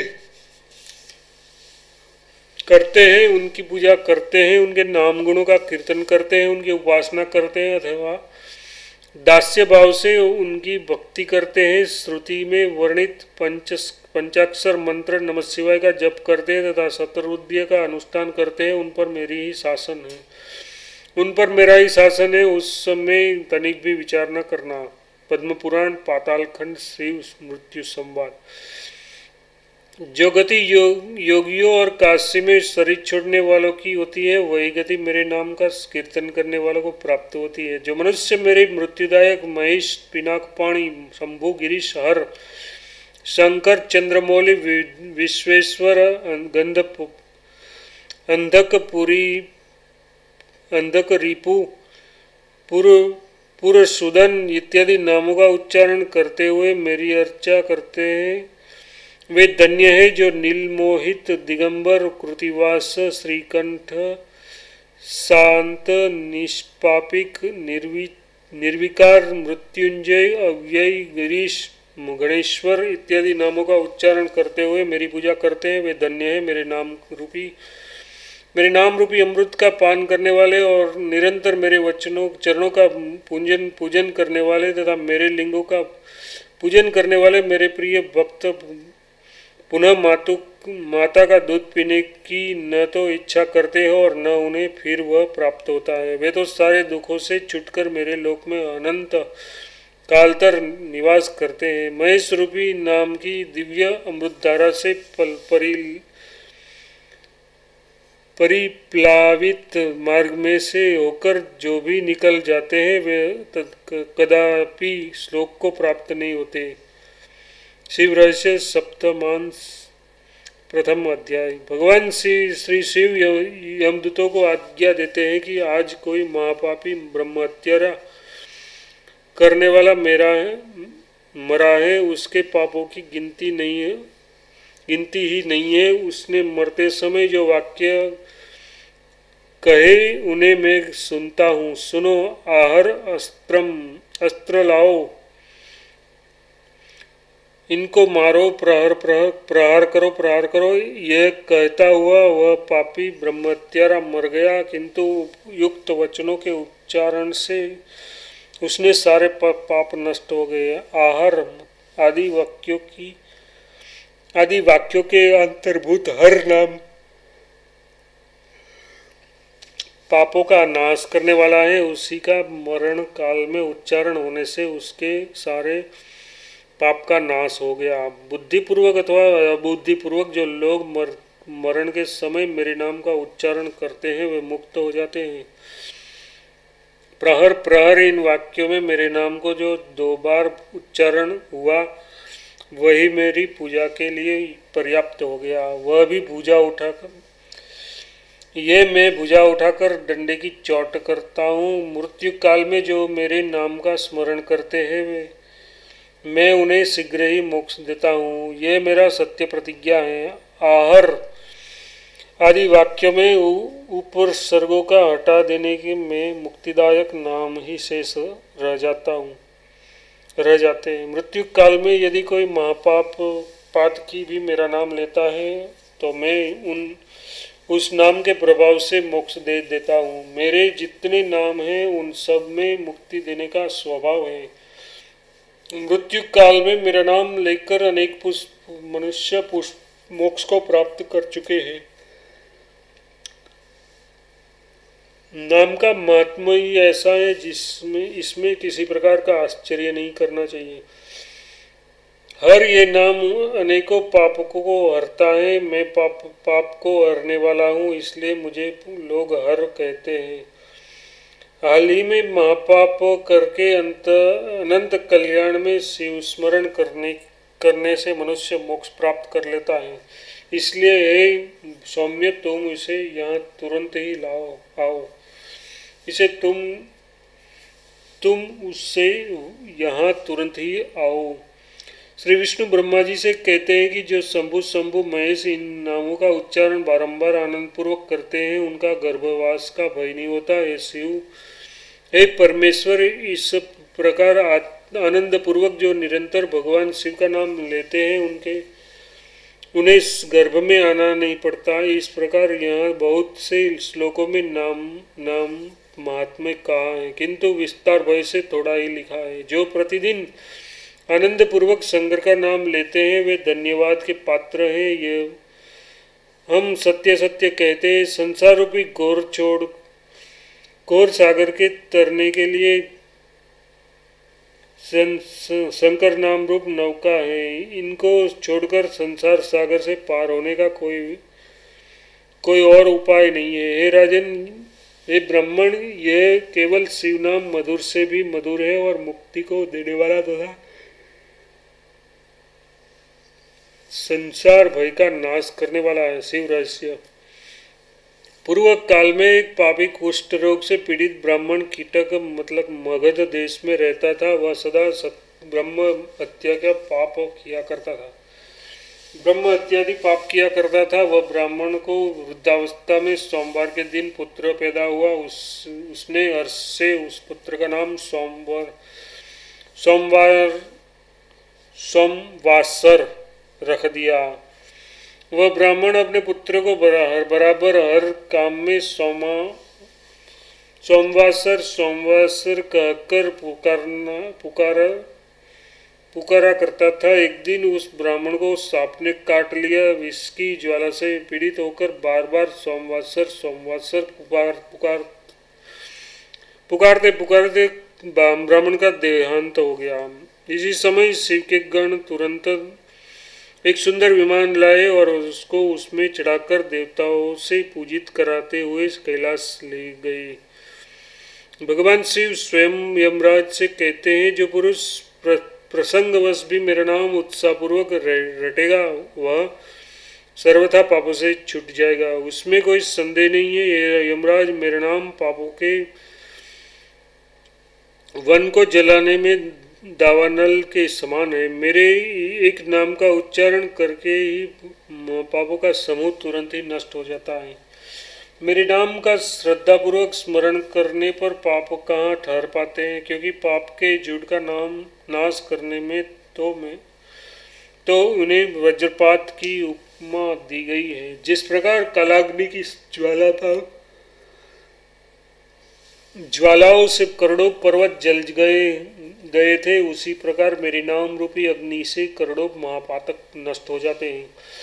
मैं उस चांडाल को भी निस्संदेह घोर संसार समुद्र से तार देता हूँ, जिसका चित्त मेरे नाम स्मरण में अनुर अनुरक्त है। जिसने पापों के झुंड का नाश करने वाला मेरा नाम अंत काल में स्मरण कर लिया, उसके घोर संसार समुद्र को चुटकियों में पाप, पार कर लिया। समझो, मेरे नाम का स्मरण मेरे ही स्मरण के तुल्य है और मेरी स्मृति हो जाने पर पाप कहाँ ठहर सकते हैं। धर्मराज किसी पुरुष के अंदर पाप तभी तक ठहरते हैं जब तक कि वह महापातकों का नाश करने वाले मेरे नाम का स्मरण नहीं करता।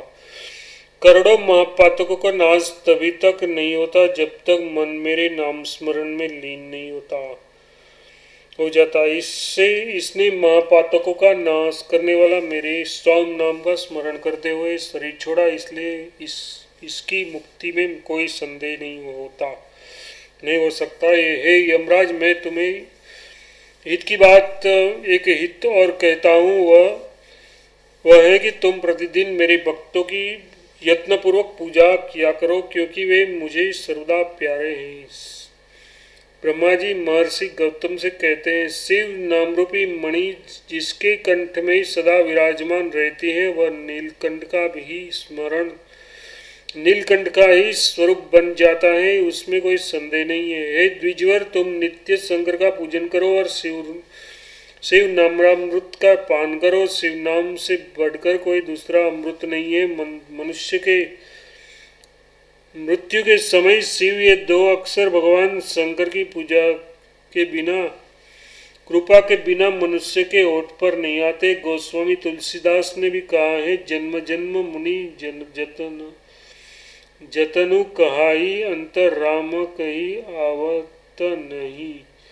मुझे जैसे अस्थिर चित्त पुरुष मुझ जैसे अस्थिर चित्त पुरुष शिव नाम स्मरण के फल का वर्णन नहीं कर सकते। स्वयं शंकर ही इस कार्य को कर सकते हैं। गोस्वामी तुलसीदास दास ने तो यहाँ तक कह दिया कि रामन सक ही नाम गुण साई। शिव नाम रूपी कुहड़ा से संसार रूपी वृक्ष जब तक, वृक्ष जब एक बार कट जाता है तो फिर वह दोबारा नहीं जामता पाप ही संसार रूपी वृक्ष की जड़ की जड़, जड़ों की जड़ है और शिव नाम का एक बार जप करने से ही उसका नाश हो जाता है। यमराज भी गौतम गौतम जी से कहते हैं, महान से महान पापी भी जब अथवा पापी भी अथवा जिसने जीवन में कोई भी पाप न छोड़ा हो, वह अंतकाल में यदि शिव नाम का उच्चारण कर ले तो वह फिर मेरा नाम, मेरा द्वार नहीं देख सकता। शिव शब्द का उच्चारण किए बिना ब्राह्मण भी मुक्त नहीं हो सकता और शिव शब्द का उच्चारण कर चांडल भी मुक्त हो सकता है। या तो शिव जी के यो तो शिव जी के सभी नाम मोक्षदायक है, किंतु उन सब में शिव नाम सर्वश्रेष्ठ है, उनका महात्म्य गात्री के समान है। शिव, श्रीमद भागवत में भगवती का वाक्य है, शिव इस द्रयक्षर नाम का एक एक बार प्रसंगवत उच्चारण करने से भी मनुष्य के पाप शीघ्र नष्ट हो जाते हैं। आश्चर्य है कि आप उन पुष्प लोक पुण्य पुण्य श्लोक ध्वंस, शासन, भगवान शिव का विरोध करते हैं, उससे बढ़कर अमंगल क्या हो सकता है? सौर पुराण अध्याय चौसठ में लिखा है, जो बिल्व वृक्ष के नीचे बैठकर तीन रात यज्ञ, तीन रात उपोषित रहकर पवित्रता पूर्वक शिव नाम का एक लाख जप करता है, वह ब्रह्मत्या से पाप भ्रूण हत्या के पाप से छूट जाता है। जितने भी स्थूल अथवा सूक्ष्म पाप हैं, वे सारे के सारे केवल क्षण भर शिव का चिंतन करने से तुरंत नष्ट हो जाते हैं। जल के अंदर निमग्न होकर शिव का ध्यान करते हुए प्रसन्न चित्त से हर इस नाम को केवल आठ बार जपने से मनुष्य पापों से छूट जाता है। महादेव जी का स्मरण करने वाला यदि पाप, पापी भी हो तो उन्हें महात्मा महात्मा ही समझना चाहिए। ये मैं तुमसे सत्य कहता हूँ। जो लोग भगवान महेश्वर के नाम का अज्ञान पूर्वक भी उच्चारण करते हैं, भगवान भोलेनाथ उन्हें भी मुक्ति दे डालते हैं। उससे अधिक और क्या चाहिए?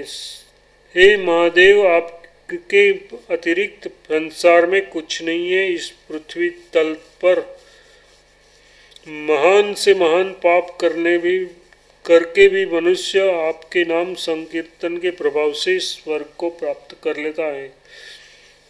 शिव नाम का उच्चारण करने वाले को नरक अथवा यमराज का भय नहीं होता ब्रह्मा जी यम यम दूतों से कहते हैं जो बैठे हुए, सोते हुए, चलते फिरते दिन रात शिव नाम का कीर्तन करते रहते हैं, उनका उन पर हम तुम्हारा अधिकार नहीं है। शिव जिसने शिव अथवा रुद्र अथवा हर इन द्वैक्षर मंत्रों में से किसी का एक का भी स्मरण कर लिया, वह मरने के बाद अवश्य रुद्रलोक को चाहता है।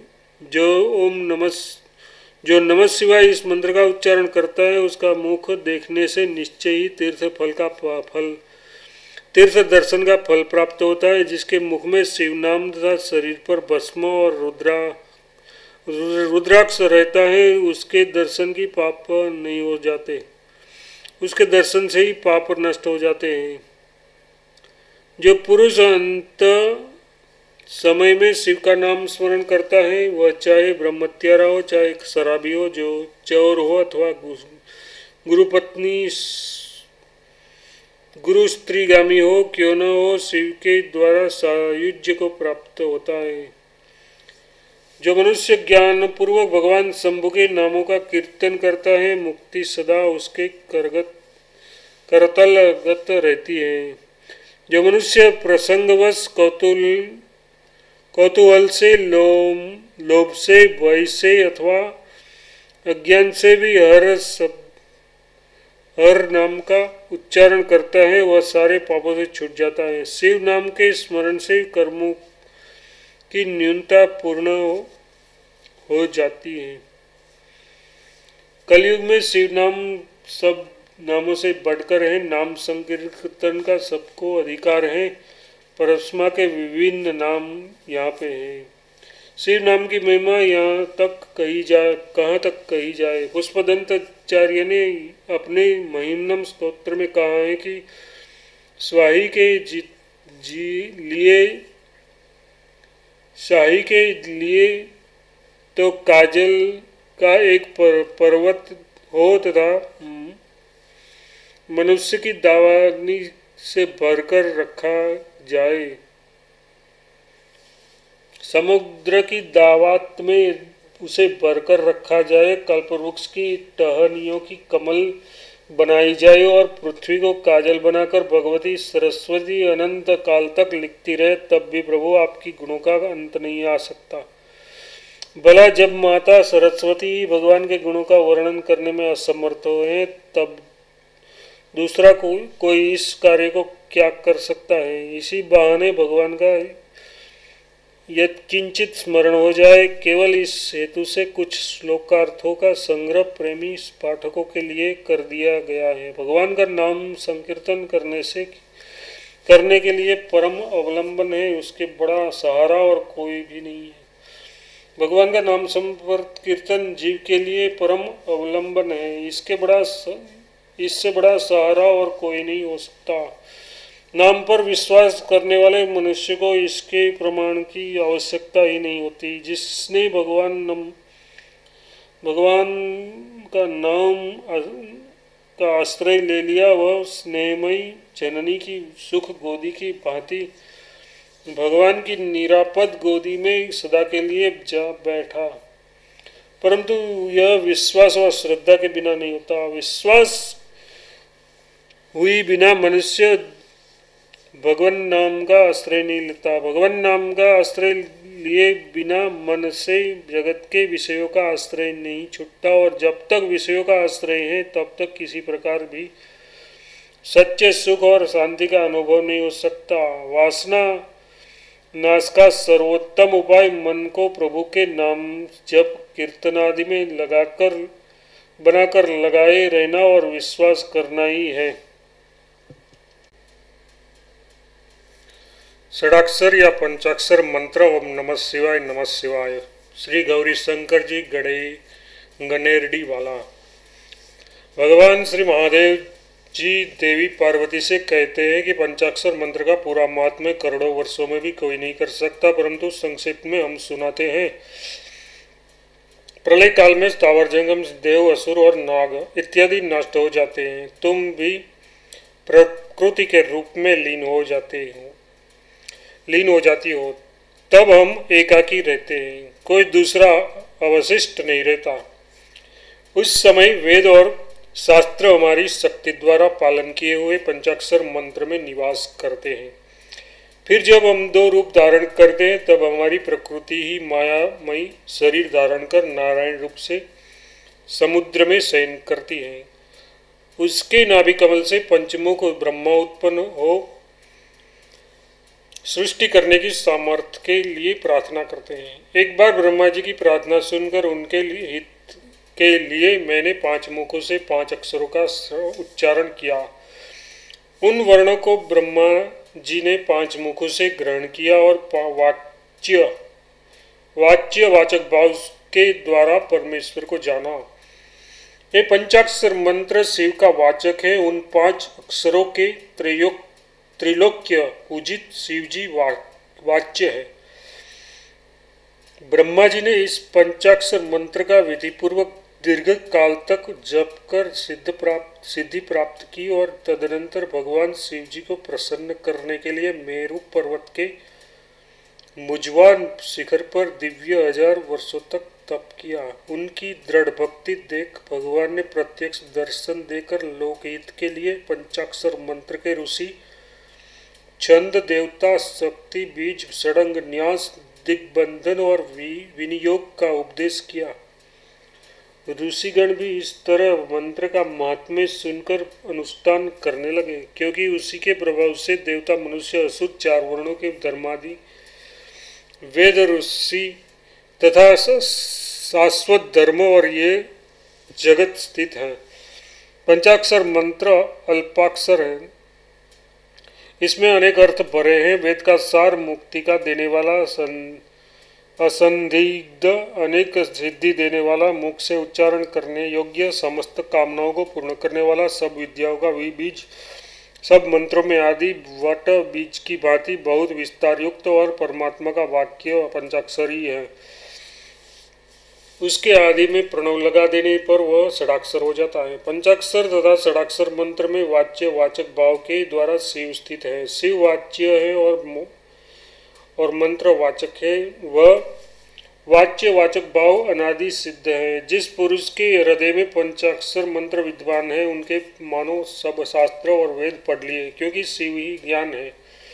वही परम पद है, इसलिए नित्य पंचाक्षर मंत्र का जप करना चाहिए। पंचाक्षर भगवान शिव जी का हृदय गुह से भी गुह और मोक्ष ज्ञान का सबसे उत्तम साधन है। न्यास तीन प्रकार का है, उत्पत्ति, स्थिति और संहार। एक, उत्पत्ति न्यास ब्रह्मचारियों को करना चाहिए। दूसरा, स्थिति न्यास गृहस्थ के लिए योग्य है। और तीसरा संहार नाश के एकमात्र अधिकारी सन्यासी हैं। इस प्रकार गुरु से प्राप्त पंचाक्षर मंत्र का जप करना चाहिए, क्योंकि सब यज्ञों के जप यज्ञ उत्तम है और सब यज्ञों में हिंसा होती है, किंतु जप यज्ञ हिंसा रहित है। इसी से और इसी से और सब यज्ञ दान, तप आदि जप यज्ञ के सोड़ षोड़शांग की भी तुलना नहीं कर सकते। जब करने से देवता प्रसन्न होते हैं और भोग तथा मोक्ष देते हैं। यक्ष, राक्षस, पिशाच, ग्रह आदि सभी भयभीत होकर जप करने वाले से दूर रहते हैं। जप से पुरुष मृत्यु को भी जीत लेता है। न्यास करते समय पहले करन्यास, बाद में देन्यास और पीछे अंगन्यास करें। पुरुष चरण के समय मंत्र के वर्णों से चौगुणी, लाख जप करे, रात को भोजन करे, सब प्रकार नियम में रहे, आसन बांधकर पूर्वमुख या उत्तरमुख बैठकर एकाग्रचित हो, मौन भाव से जप करे और आदि अंत में पंचाक्षर मंत्र, पंचाक्षर जप पूर्वक प्राणायाम करे, अंत में 108 बीज ओम मंत्र का जप करे। ओम हृदयान, हृदयाय नम, न शीर्षे स्वाहा मह सिखाए वसट, सी कवचाय हूँ वा, नेत्रत्रयात य अस्त्राय फटम आचरणहीन पुरुष का सब साधन निष्फल हो जाता है। आचर आचार ही आचारहीन पुरुष का सब साधन निष्फल हो जाता है। आचार ही परम धर्म और परम तप है। आचार युक्त पुरुष को कहीं भी भय नहीं रहता। सदाचार के पालन करने से पुरुष ऋषि और देवता तक बन जाते हैं। मुख्यतः असत्य का त्याग करे क्योंकि सत्य ब्रह्म है और असत्य दूषण का, ब्रह्म का दूषण है। असत्य तथा कठोर वाक्य पेशून्य मतलब चुगली, पर स्त्री, पराई पराया धन और हिंसा आदि को मन, वचन, कर्म से त्याग दे। दीर्घायु चाहने वाले पवित्र होकर गंगादी नदियों पर पंचाक्षर मंत्र का एक लक्ष्य जप करे। दुर्वा के अंकुर, तिल और गुड़ीची मतलब गिलोय का दस हज़ार हवन करे अपमृत्यु निवारण के लिए शनिवार को अस्वस्थ वृक्ष का स्पर्श करे और तप करे। व्याधि दूर करने के लिए एकाग्र चित्त होकर एक लक्ष्य जप करे और नित्य आपकी संविधा से अष्टोत्तर सत हवन करे। उधर रोग के साथ शांत्यर्थ पाँच लक्ष्य जप मंत्र जप करके दस हज़ार हवन करे, नित्य सूर्य के सन्मुख पवित्र जल को अष्टोत्र अस्तोत्तर सत बाद अभिमंत्रित करके पान करे। मोक्ष की इच्छा करने वाला निष्काम भाव से निरंतर प्रेम पूर्वक जप करे जबकि प्रभाव को जानकर सदाचार प्रयाण हो, निरंतर निष्काम जप करने से अवश्य कल्याण होगा। इतिहास, प्राचीन समय एक बड़ी तेजस्वी वत्स्य नामक मुनि भ्रमण करते हुए सूर्य के आश्रम में पहुँचे। सूर्य ने भक्ति से प्रणाम करके पाद्य अर्घ आदि देवक, आदि देकर मुनि की पूजा की और कुशल प्रश्न के अनंतर सूर्य जी की सूत जी की प्रार्थना से चतुर्मास का अनुष्ठान करने के लिए वत्समुनि उसके यहाँ ठहरे गए। सूजी विनयपूर्वक उसकी सेवा करने लगे। महर्षि वत्स देवन दैनिक कार्य से निवृत्त होकर रात्रि के समय अवकाश मिलने पर सूजी को विचित्र कथाएँ सुनाया करते थे। एक समय कथा के अंत में सूजी ने विस्मित होकर महर्षि वत्स वत्स जी से पूछा कि ये भगवान, आपका ये शरीर इतना सुकुमार है और आप अनेक विचित्र कथाएँ कहते हैं तो हे तात मुझे ये बताइए कि इतनी छोटी अवस्था में आपने ये घटनाएँ कैसे देखी? हे मुनीश्वर, ये आपकी तपस्या का प्रभाव है अथवा किसी मंत्र का फल है? वत्स मुनि हंसकर बोले सूजी, आपने बहुत ठीक पूछा, ये मंत्र का ही प्रभाव है। मैं प्रतिदिन शिव जी के समीप उनके षडाक्षर मंत्र का जप, मंत्र का आठ हज़ार जप किया करता हूँ। इसी के इसी के प्रभाव से मेरी युवावस्था तीनों काल में एक सी रहती है और मुझे सदैव भूत भविष्य का ज्ञान बना रहता है। मेरा जन्म एक जन्म हुए एक हज़ार वर्ष हो गए महामती शिव, सदा शिव की प्रसन्नता से मैंने जिस प्रकार सिद्धि प्राप्त की है, उसका वृत्तांत मैं विस्तार से आपको सुनाता हूँ। एक बार वनों में भ्रमण करते करते मैं देवर्षि, महर्षि देवराज ऋषि के आश्रम पर पहुँचा। ऋषि के मृगावती नाम की एक रूप, गुण संपन्न कन्या थी। उन्होंने शुभ मुहूर्त में बड़ी प्रसन्नता से मेरे साथ अपनी कन्या का विवाह कर दिया। मैं मृगावती के साथ आनंद से रहने लगा, परंतु मेरे भाग्य में यह आनंद अधिक काल के लिए नहीं बना बना था। एक दिन मृगावती अपने सहेलियों के साथ वन में विचरण करने लगी। घूमते घूमते उसका पैर घास कुट से ढके। एक भयंकर नाक से नाग के सिर पर पड़ गया सर्प ने क्रोध में आकर मृगावती को काट लिया और वह तत्काल मर गई। सखियों ने आकर यह दारुण वृत्तांत मुझे सुनाया। मैं वो यह दुखद दुखद वृत्तांत सुनते ही हाहाकार करता, घटनास्थल पर जा पहुँचा और अपनी प्राण प्रिया को निर्जीव देख छाती पीट कर विलाप करने और करुण स्वर से रोने लगा। इस प्रकार हृदय विदारत विलाप करते करते दुखी होकर मैंने चिंता, चिता लगाई, बनाई। मृगावती के शरीर को ऊपर, उस पर रखकर आग लगा दी और स्वयं भी उस चिता पर चढ़ने गया। इतने में ही मेरे कुछ मित्र इस दारुण वृत्तांत को सुनकर वहाँ पहुँच गए और उन्होंने मुझको समझा बुझाकर आत्म हनन रूपी दुष्कर्म से रोक लिया एवं आश्रम में ले गए। आधी रात तक तो मैं किसी प्रकार विलाप करता हुआ आश्रम में पड़ा रहा।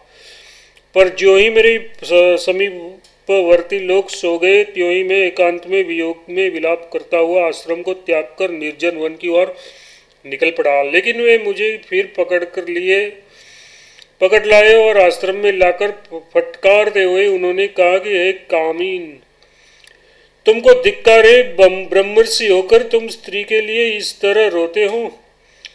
हम तुम और संसार के सब प्राणी जो भूमि में उत्पन्न हुए हैं, वे सब मिटेंगे मरेंगे।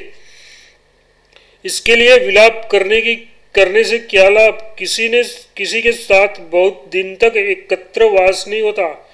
दूसरे की कौन कहे? अपने शरीर का भी अधिक दिन तक साथ नहीं रहता। खोई हुई वस्तु, बीती हुई बात तथा मेरे, मरे हुए प्राणी के लिए जो पुरुष सोच करता है, वह एक लोक और परलोक, इस लोक और परलोक में दुख का पात्र होता है। आश्रम में आने पर मेरा दुख कोप रूप में परिवर्तित हो गया और मैंने आँखों के सामने आए हुए सभी सर्पों को मारने की प्रतिज्ञा की। एक रात्रि को मैं रोता पिटकता फिर निकलकर बहुत दूर चला गया। इधर जब मेरे मित्रों की नींद खुली तो वे मुझे न पाकर बहुत दुखी हुए और खोजने निकले। खोजते खोजते किस खोजते खोजते किसी प्रकार मेरे समीप पहुँचे और मुझे आश्रम में पकड़ लाए। इसके अनंतर आश्रम में रहकर सर्प जाति का विनाश करने का ही मैंने अपने जीवन का एकमात्र कर्तव्य बना लिया। उसी दिन से मैं ब्राह्मण वृत्ति का परित्याग कर एक मोटा सा डंडा ले सर्पों की खोज में निकला। मेरे सामने छोटे बड़े विशेले काले पीले जैसे भी सांप पड़े वे सब मेरे दंड प्रहार से काल के गाल में पहुँच गए।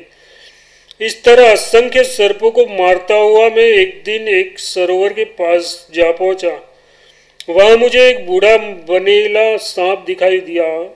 उसको देखते ही मैंने मारने के लिए अपना डंडा सहला, संभाला। अपने सिर पर काल को सवार देखकर उस वृद्ध सर्प ने नम्रता पूर्वक कहा कि, हे ब्राह्मण सतम, मैं यहाँ एकांत एक में पड़ा अपना जीवन व्यतीत करता हूँ। न किसी से ही बोलता हूँ और न किसी को कोई कष्ट ही पहुंचाता हूँ। फिर मुझ निरपराधी बुढ़े को आप क्यों मारते हैं? उसने मुझसे बहुत प्रार्थना की, पर मैंने अपना डंडा उस पर चला ही दिया। डंडा लगते ही सर्प का शरीर तो न जाने कहाँ चला गया और मुझे अपने सामने सूर्य के समान तेजस्वी एक महापुरुष दिखाई पड़ा। यह घटना देखकर मुझको बड़ा आश्चर्य हुआ और मैं उस पुरुष को प्रणाम कर कहने लगा कि, हे महाप्रभु, हे महापुरुष, मैंने कोपवश बहुत अनु चित कार्य किया है। कृपया मेरा अपराध क्षमा कीजिए। अब दया करके मुझे ये बतलाइए कि आप कौन है और आपके सर्प का शरीर क्यों धारण किया था? किसी के साप से ऐसा हुआ या ये आपकी एक लीला मात्र थी? उस महापुरुष ने प्रसन्न मन से गंभीर वाणी में उत्तर दिया कि हे मुनि, मैं आपको अपना बुरा वृत्तांत सुनाता हूँ। आप ध्यानपूर्वक सुनने की कृपा करें। उससे पूर्व जन्म में मैं चमत्कारपुर में निवास करता था। ईश्वर की दया से मैं परम तपस्वी एवं धनधान्य से समृद्ध था। उसी नगर में सिद्धेश्वर महादेव का विशाल मंदिर था। एक दिन बड़े उत्साह के साथ इस शिवालय में उत्सव मनाया गया। वहाँ पर नाना प्रकार के बाजे बजते थे, जिनकी ध्वनि से सारा आकाश भर गया था। उस आवाज़ को सुनकर हज़ारों सेव तथा अन्य शिव भक्त दूर दूर से वहाँ आ पहुँचे। उनमें से कुछ केवल एक बार भोजन करते, कुछ सूखे पत्ते चबाकर निर्वाह करते, कुछ केवल जल पीकर रहते, कुछ वायु पीकर ही संतुष्ट रहते और कुछ एकदम निराहार रहकर भगवान शंकर का ध्यान किया करते थे। सब भक्त भगवान सिद्धेश्वर की वंदना कर उनके सामने बैठ जाते और अनेक देवर्षियों, महर्षियों तथा राजस्वियों की दया, धर्म, सत्य आदि के उपदेश देने वाली विविध प्रकार की कथाएँ कहते, सुनते थे। भक्ति पूर्ण हृदय वाले कितने ही साधुजन, नृत्य, गान, वादन आदि में मग्न हो जाते। कुछ धनिक लोग दीनों अंधों और दरिद्रों को धन धन देकर संतुष्ट कर, कर संतुष्ट करते थे। उस समय जवानी के मद में चूर मैं भी अपने मित्रों के साथ तमाशा देखने की गरज गर, गरज से वहीं जा डटा। मैं अज्ञान से अंधा हो रहा था मेरे हृदय में शिव की भक्ति तो थी ही नहीं। मैं केवल उस उत्सव में विघ्न डालकर आनंद लुटाना चाहता था। अंत में मैंने जीव जीव लप लपाते हुए एक बड़े लंबे भयंकर जल सर्प को उठाकर उन लोगों के बीच में फेंक दिया। सबको देखते ही वो सब लोग डर के मारे इधर उधर भाग गए। केवल एक सुब्रभ सुप्रभ नामक महान तपस्वी परमात्मा के ध्यान में निमग्न समाधि लगाए बैठे रहे। वहाँ वे कमलासन पर विराजमान अनिग्न अभेद जरा मरण से रहित वेदनाथ महेश्वर के ध्यान में लीन थे। परमानंद से उनकी आँखों से आँसू बह रहे थे। सारा शरीर रोमांचित हो रहा था। उस स्थिति में उन मुनि, महामुनि को क्या कहा, क्या हो रहा है? इस स्थिति में उस महामुनि को, मुनि, महामुनि को कहा, क्या हो रहा है? उसका लेस मात्र भी ज्ञान नहीं रह गया रह गया था। सर्प को और कोई तो मिला नहीं, यही समाधिष्ट मुनि मिले। उसने उसके शरीर को भली भांति जकड़ लिया। इसी बीच सर्वशास्त्र पारंगत परम तपस्वी श्रीवर्धन नामक उनके शिष्य वहाँ आ पहुँचे। पूज्य गुरुदेव के शरीर को सर्प से जकड़ा हुआ और मुझे उनके समीप ही खड़ा देखकर उन्हें बड़ा क्रोध आया। उनकी आँखें लाल हो गई उठी होठ फफड़ा, फफड़ने लगे और क्रोध में मारे। आँसू में, आँख में आँसू भर आए, वे अत्यंत कठोर स्वर में कहने लगे कि यदि मैंने तीव्र तप किया हो, सच्चे हृदय से गुरु की सृष्टिया की और निर्विकल्प चित्त से भगवान महेश्वर का ध्यान किया हो तो ये ब्राह्मणा दम इसी समय सर्प योनि को प्राप्त हो जाए। उन महातपस्वी का वचन अन्यथा कैसे हो सकता था? साप देते ही मैं मनुष्य से सर्प बन गया। कुछ देर बाद सुप्रभ, सुप्रभव मुनि का ध्यान टूटा। उन्होंने अपने शरीर में लपटे हुए यह भयंकर सर्प को और पास ही सर्प के आकार में, सर्प के आकार में मुझे तथा अपने आसपास भयभीत जन समुदाय को देखा। तुरंत सब बातें उनकी समझ में आ गई। वे मेरी और कृपा पूर्ण दृष्टि से देखते हुए श्रीवर्धन से बोले, वत्स, तुमने इस दिन ब्राह्मण को साप देकर तपस्वियों के योग्य कार्य नहीं किया था। नहीं किया, जो मार और अपमान, मान और अपमान को समान समझता है, पत्थर और सोने में भेद नहीं देखता, शत्रु और मित्र को एक सा मानता है, तपस्वी सिद्धपद पा सकता है। तपस्वी सिद्धि पद पा सकता है, तुमने बिना समझे बुझे आपको साप दे दिया। अतः एवं उसके सब अपराध क्षमा करके उसे साप से मुक्त कर दो। परम सत्यवादी श्री वर्धन ने हाथ जोड़कर विनय पूर्वक कहा कि हे प्रभुपाद, गुरुवर अज्ञान से अथवा ज्ञान से मेरे मुख से जो कुछ निकला गया, निकल गया वह कभी अन्यथा नहीं हो सकता। इसके लिए आप मुझे क्षमा करें। जब हँसी में भी मेरे मुख से निकले हुए वचन झूठे नहीं हुए हैं तो साप के निमित्त कहे गए वाक्य कैसे झूठे हो सकते हैं? सूर्यदेव चाहे पूर्व दिशा को त्याग कर पश्चिम दिशा में उदित हो जाए अनाघ और अनंत महासागर सुकर मरुस्थल बन जाए, सुमेरु पर्वत नष्ट हो जाए, पर मेरा वचन मिथ्या नहीं हो सकता। आप मेरी आप मेरी इस दृष्टता को क्षमा करके मुझे अनुग्रहित करें। महर्षि प्रभु सुप्रभ ने कहा कि मैं अच्छी तरह जानता हूँ कि तुम्हारे वचन मिथ्या नहीं हो सकते, तुम्हें इस प्रकार उपदेश देना ये, उपदेश देना इस समय के लिए नहीं, बल्कि इसलिए है कि भविष्य में कभी तुम्हें ऐसा करने का साहस न हो। गुरु का ये कर्तव्य है कि वह वयस्क शिष्य पर भी सदा शासन करता रहे। तुम तो अभी बालक हो, तुम्हें उपदेश देना तो मेरा परम कर्तव्य है। क्षमा से सब सिद्धियाँ प्राप्त होती है। तपस्वियों के लिए तो क्षमा से बढ़कर कोई शास्त्र है ही नहीं। पाप, पापी के प्रति भी अपने मन में पाप बुद्धि न लानी चाहिए। उपकार करने वाले के प्रति जो सज्जनता प्रकट करता है, उनमें क्या विशेषता है? जो मनुष्य अपकार करने वाले के साथ उपकार करता है, वास्तव में वही साधु है। इस प्रकार अपने शिष्य को अनेक प्रकार के उपदेश देखकर वे मुनि ऋषि मुझसे कहने लगे ए भाई, तुम्हारी ये दशा देखकर मुझे बड़ा दुख है। परंतु अब कोई उपाय नहीं है। इस सत्यार्थ स्त्रित का कथन त्रिकाल में भी अन्यथा नहीं हो सकता। अतः तुमको सर्प योनि से मुक्त होने के लिए कुछ समय की प्रतिज्ञा करनी ही पड़ेगी। तब मैंने बड़ी नम्रता के साथ पूछा कि, हे महाराज, मैं बड़ा अज्ञानी और दीन हूँ, मुझ पर कृपा कर बताइए कि इस साप का अंत कब होगा? महर्षि सुप्रभ ने कहा कि जो व्यक्ति शिवालय में एक घड़ी भर नृत्य, गीत आदि करता है, उसके पुण्य का परावा, पारावार नहीं रहता और जो उत्सव में एक घड़ी भर भी विघ्न करता है, उसके पाप का ठिकाना नहीं रहता। तुमने इस उत्सव में विघ्न डालकर गौर पाप किया है।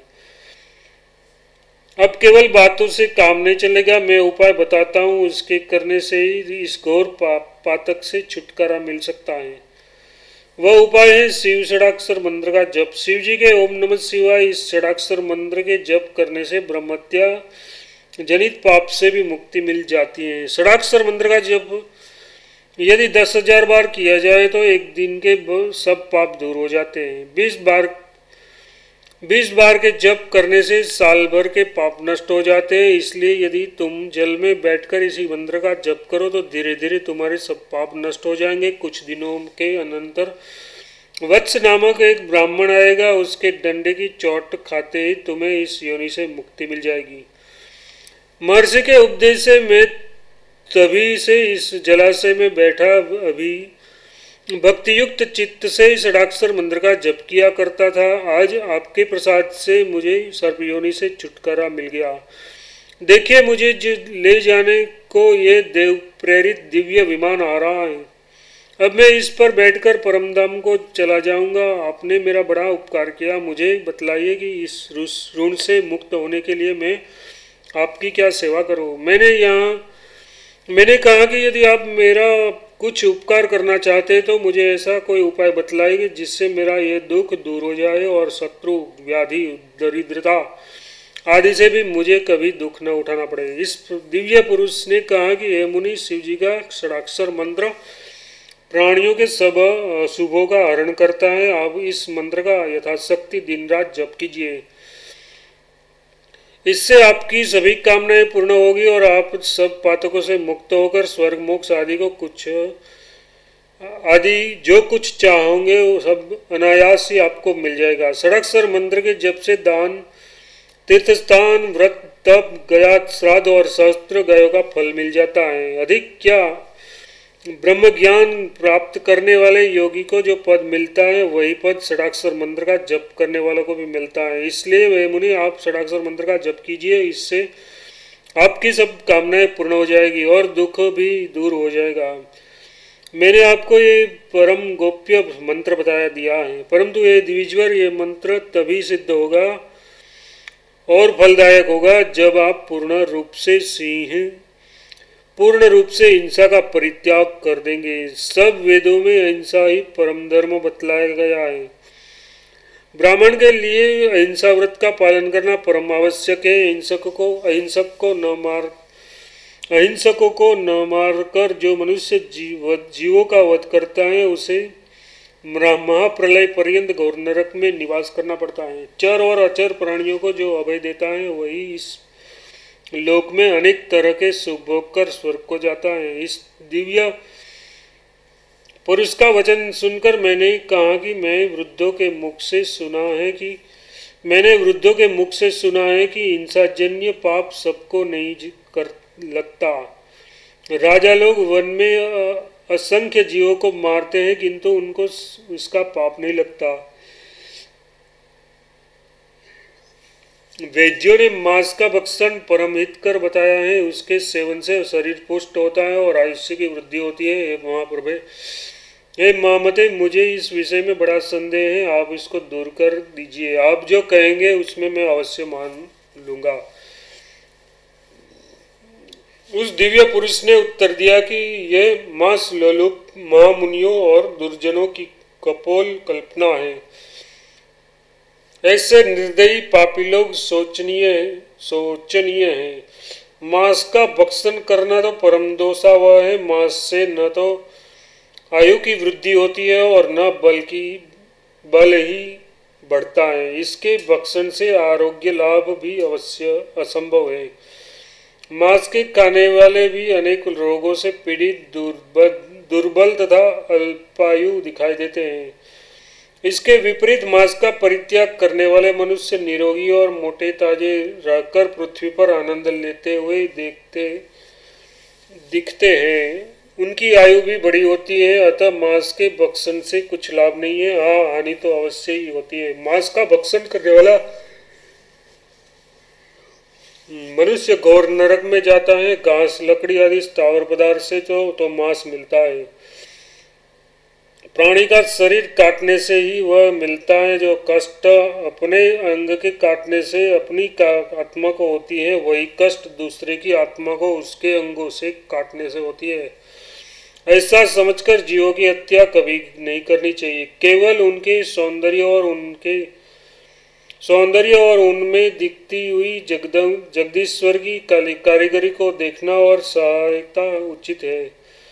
हिंसा करने का पाप केवल एक व्यक्ति को नहीं होता, किंतु सात व्यक्तियों को होता है। जीव को मारने वाला, अनुमोदन करने वाला, उसका मांस काटने वाला काटने वाला, खरीदने वाला पका कर तैयार करने वाला, परोसने वाला और भक्षण करने वाला, ये सात प्रकार के पातकी होते हैं। ये सातों उन हिंसा जनित पाप के भागी होते हैं, जो व्यक्ति, मनसा, वाचा, कर्मणा, सभी इन, कभी इंसानी करता, वह जरा और मरण से रहित परम पद को प्राप्त होता है, जो केवल शाक मूल और पत्तों, फलों का खाने वाला हो और ब्रह्मचर्य का पूर्ण रूप से पालन करता हो, किंतु हिंसा से पृथक न हो तो उसे किसी प्रकार का फल नहीं मिलता। सैकड़ों घोर वर्ष वर्षों तप करने वाले हिंसक मनुष्य से अहिंसक हिंसा धर्म का पालन करने वाला दयालु पुरुष कहीं अधिक अच्छा है। दयावान पुरुष जिस किसी वस्तु की इच्छा करता है, वह उसे अवश्य मिल जाती है।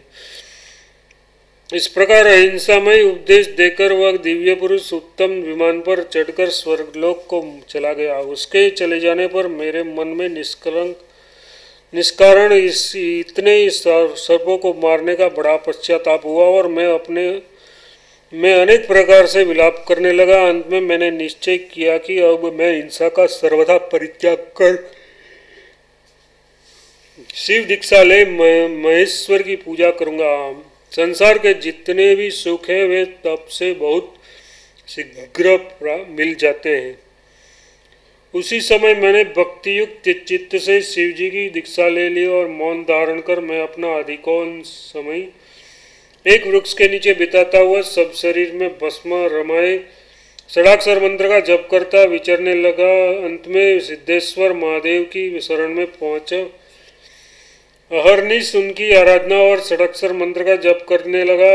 इस तप से, तप ही प्रभाव से, इस तप के ही प्रभाव से मेरा यौवन सदा के लिए स्थायी हो गया। मुझे ऐसा सिद्ध, ऐसी सिद्धि प्राप्त हो गई कि जिन, जिस से मैं एक स्थावर में एक स्थान पर बैठे हुए भी दूसरे लोगों का वृत्तांत जान सकता हूँ। उसी तप के प्रभाव से मुझ, मुझसे आकाश मार्ग से जाने आने की शक्ति भी आ गई है।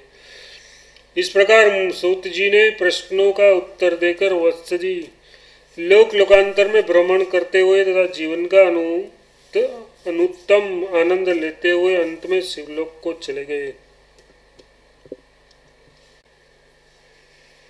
सर्वव्याधि नाशक पूर्वक दीर्घायु की प्राप्ति के लिए महामृत्युंजय का विधान। भगवान श्री शंकर के रुद्राध्याय तथा मृत्युंजय महामंत्र से भारत के कौन कौन में कोने कोने में अभिषेक किया जाता है। श्रावण में तो इतनी इसकी बाहर देखने ही योग्य होती है। यहाँ उसी मृत्युंजय महामंत्र की अर्थ गंभीरता पर कुछ विचार किया जा रहा है। ये विचार निश्चय ही परम पुण्य पद है ओम ओम जुम स ओम भूर भुव स्व ओम त्र्यंबकम यजामहे सुगंधि पुष्टिवर्धनम उर्वारुकमिव वंदना मृत्युर्मोक्षे ममाम तात स्वाहा भुव भू ओम स जुम ओम स ओम ये संपुट मंत्र हैं ओमकार का प्रतीक शिवलिंग है, उसके ऊपर अविच्छिन्न अनवरत जलधारा के प्रवाहवत अपनी दृष्टि स्थिर करते हुए विश्वास पूर्वक मृत्युंजय महामंत्र का जप करता रहे तो स्वाध्याय स्वाद ध्यानावस्था प्रत्यक्ष घड़ी हो जाती है और एक विलक्षण आनंद की अनुभूति होती है।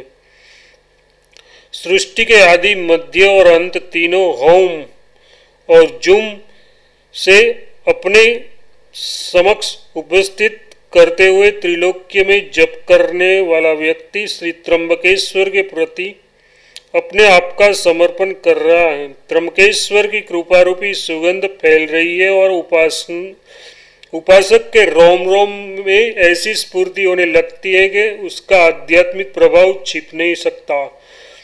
जैसे इंद्रायण मतलब तुम्बे की बेल सुख जाने पर फल बंधन से मुक्त होकर आसपास की अनंतता में छिपा, छिप जाता है, उसी प्रकार जप करने वाला उपासक अपनी मोक्ष की अवस्था को प्रत्यक्ष कर सकता है। एको हम बहुत श्यामी, परमात्मा की यह अच्छा हो, इच्छा होती है और महाप्राण की अलौकिक गति प्रस्तुत होती है। उसका वो सूचन महाप्राण अक्सर हाँ से होता है। प्रकृति विकृत होने लगे। पंच तन्मात्राएँ उद्भत हो शब्द गुण आकाश सृष्टि को जोलने जोलने के लिए तत्पर हो जाए, उस दृश्य का आभास ओम की ध्वनि करा रहा, करा रही है। ज का, ज ज मतलब जन्म उ मतलब उद्व विकास विस्तार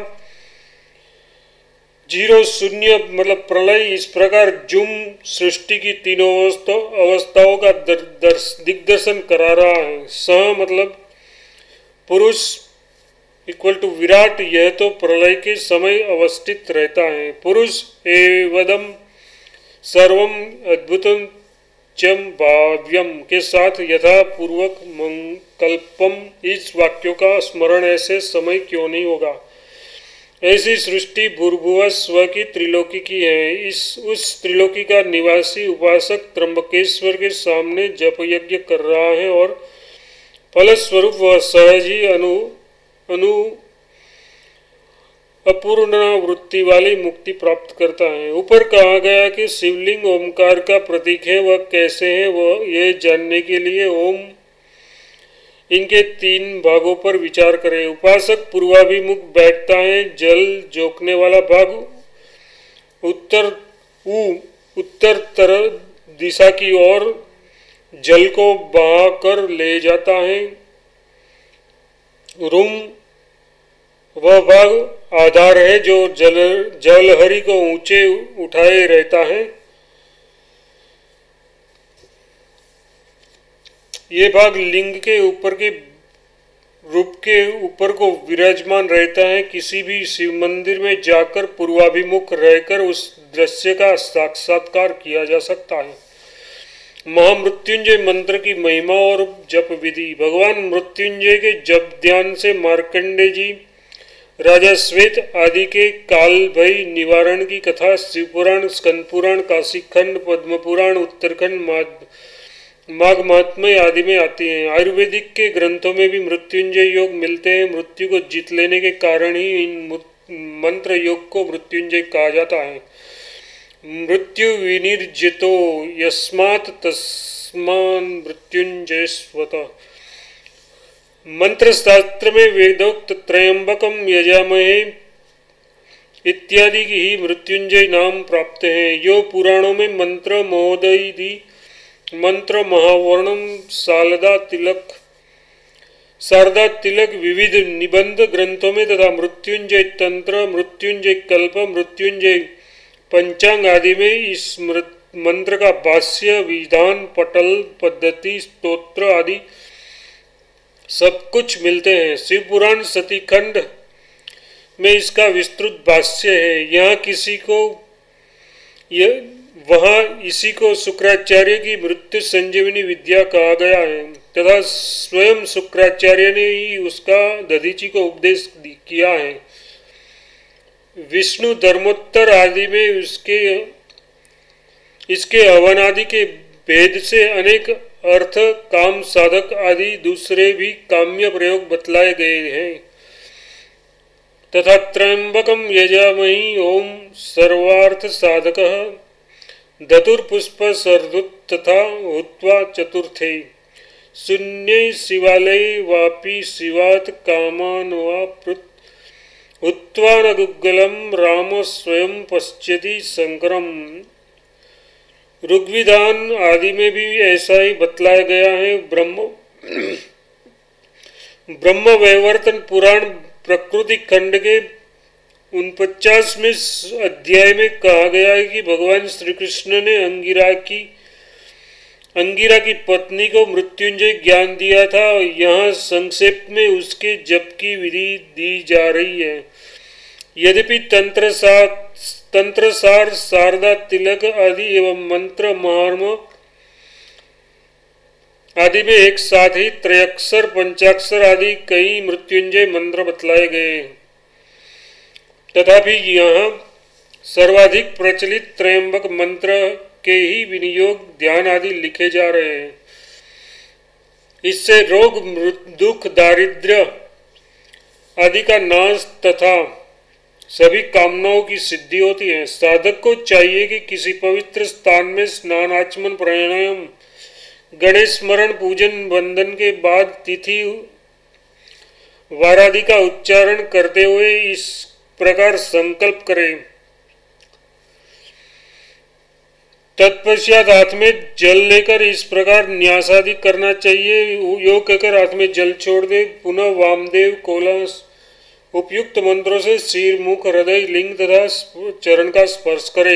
तत्पश्चात निम्न मंत्रों से पहले अंगूठे आदि का स्पर्श करते हुए करन्यास करके फिर उन्हें मंत्रों से हृदय आदि को स्पर्श करते हुए हृदय आदि न्यास करना चाहिए।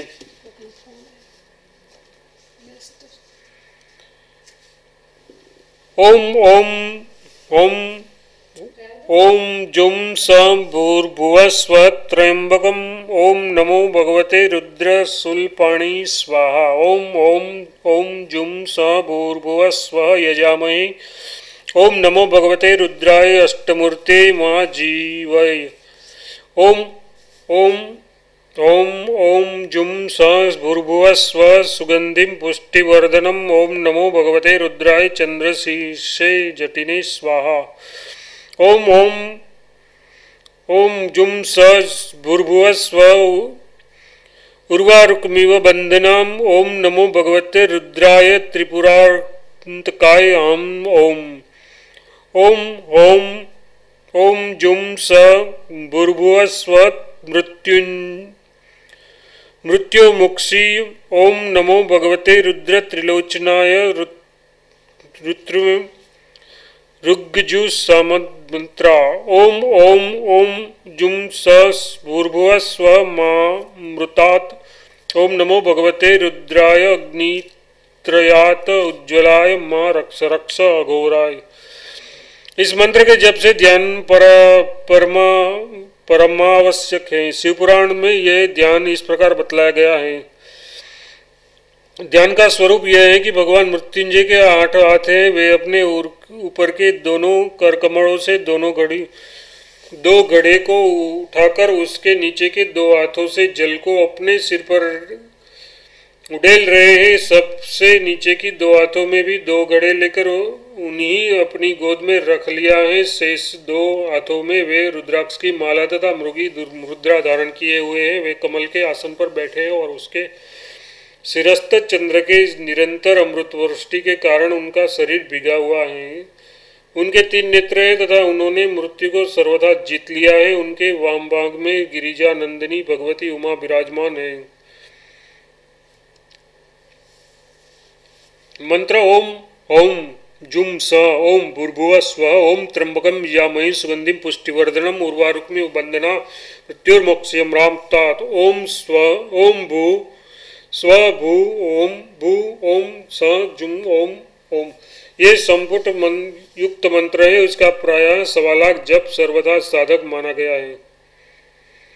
सर्वार्थ साधक माना गया है। जब के बाद इस प्रकार प्रार्थना करनी चाहिए कि अपने अंत में दशांश हवन, उसका दशांश तर्पण, उसका दशांश मार्जन तथा ब्राह्मण भोजन आदि करना चाहिए। सर्व व्याधि नाशक के लिए लघु मृत्युंजय मंत्र, ओम जुम स नाम जिसके लिए किया जाए पालन पालन य स जुम, ओम। इस मंत्र का एक, ग्यारह लाख जप तथा एक लाख दस हज़ार दशांश का जप करने से सब प्रकार के रोगों का नाश होता है। इतना न हो सके कम से कम सवा लाख जप और साढ़े बारह हज़ार दशांश जप अवश्य करना चाहिए। उसके साथ ही आगे लिखा है, यंत्र में भी हाथ में बाँध लेना चाहिए। ओम मृत्युंजय कवच यंत्र, यंत्रम। भोजपत्र पर अष्टगंध से यंत्र लिखकर गूगल का धूप देकर पुरुष के दाहिने और स्त्री के बाइने हाथ में बाँध देना चाहिए, गोत्र। पिता का नाम पुत्र या पुत्री, रोग रोगी का नाम यथास्थान लिख देना चाहिए, यंत्र इस प्रकार के हैं। गोत्र से श्री स्वपुत्र श्री स्वस्तु दीर्घ दीर्घ जीवन मस्तु शिवरात्रि रहस्य श्री सुरेश चंद्र जी। इस देश में जितने प्रकार के पूजा पार पार्वण व्रत उपवास पर्वो पर्वोत्सव प्रचलित हैं उनमें शिवरात्रि व्रत के समान प्रचार अन्य किसी का भी नहीं देखा जाता।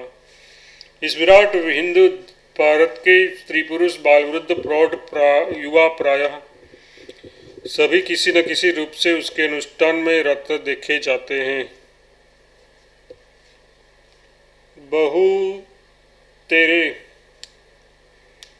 यथाविधि पूजादि न करते हुए भी उपवास करते हैं, उसकी, जिनकी उपवास में भी रुचि नहीं होती, वे कम से कम रात्रि जागरण करके ही उस व्रत के पुण्य का कुछ भाग लेना चाहते हैं। सौर गणपत्य शैव वैष्णव और शाक्त, प्रधानतः इन्हीं पाँच संप्रदायों में विराट हिंदू समाज विभक्त है। इनमें से जो जिसके उपासक होते हैं, वे अपनी उस इष्ट देव को छोड़कर अन्य की उपासना प्राय नहीं करते। परंतु इस शिवरात्रि व्रत की महिमाएँ शास्त्र में भी ऐसा विहित है कि तथा विहित है तथा इसी विधान का आज तक पालन होता आया है कि संप्रदाय के वेद को त्याग सभी मनुष्य इसका पालन करते हैं और इसके फलस्वरूप भोग और मोक्ष दोनों को प्राप्त करना चाहते हैं। शिव पूजा और शिवरात्रि व्रत में थोड़ा सा अंतर है। व्रत शब्द के निर्विचन से हम समझ सकते हैं कि जीवन में जो वर्णीय है बार बार अनुष्ठान के द्वारा मन वचन कर्म से जो प्राप्त करने योग्य है, वही व्रत है। इसी कारण प्रत्येक व्रत के साथ कोई न कोई कथा या आख्यान जुड़ा रहता है। इस कथाओं में ऐसे ऐसे चरित्रों की बातें रहती हैं, जिसके साथ इस व्रत की उत्पत्ति, परिणति और समाप्ति का संक्षिप्त इतिहास ग्रंथित रहता है।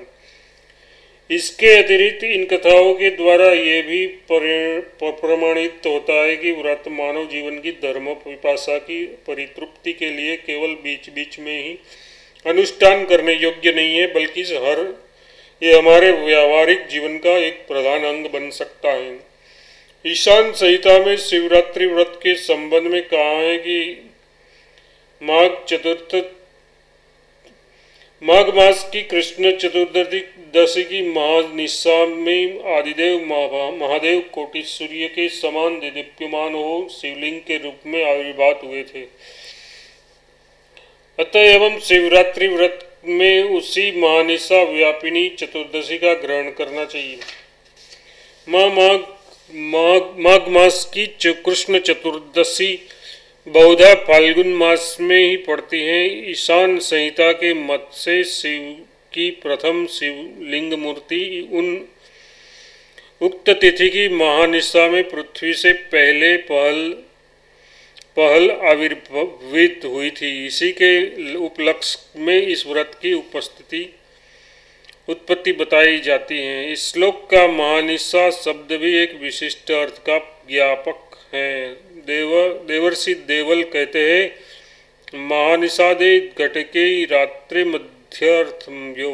चतुर्दशी तिथि युक्त चार प्रहर रात्रि के मध्यवर्ती दोपहर में पहले की अंतिम और दूसरे की आदि इन दो घटियकाओं की घड़ी ही महानिशा संज्ञा है। व्रत कथा में कहा गया है कि एक बार कैलाश शिखर पर स्थित पार्वती जी ने शंकर जी से पूछा वे भगवान, धर्मार्थ, काम और मोक्षीन चतुर्वर्ग के तुम ही हेतु हो।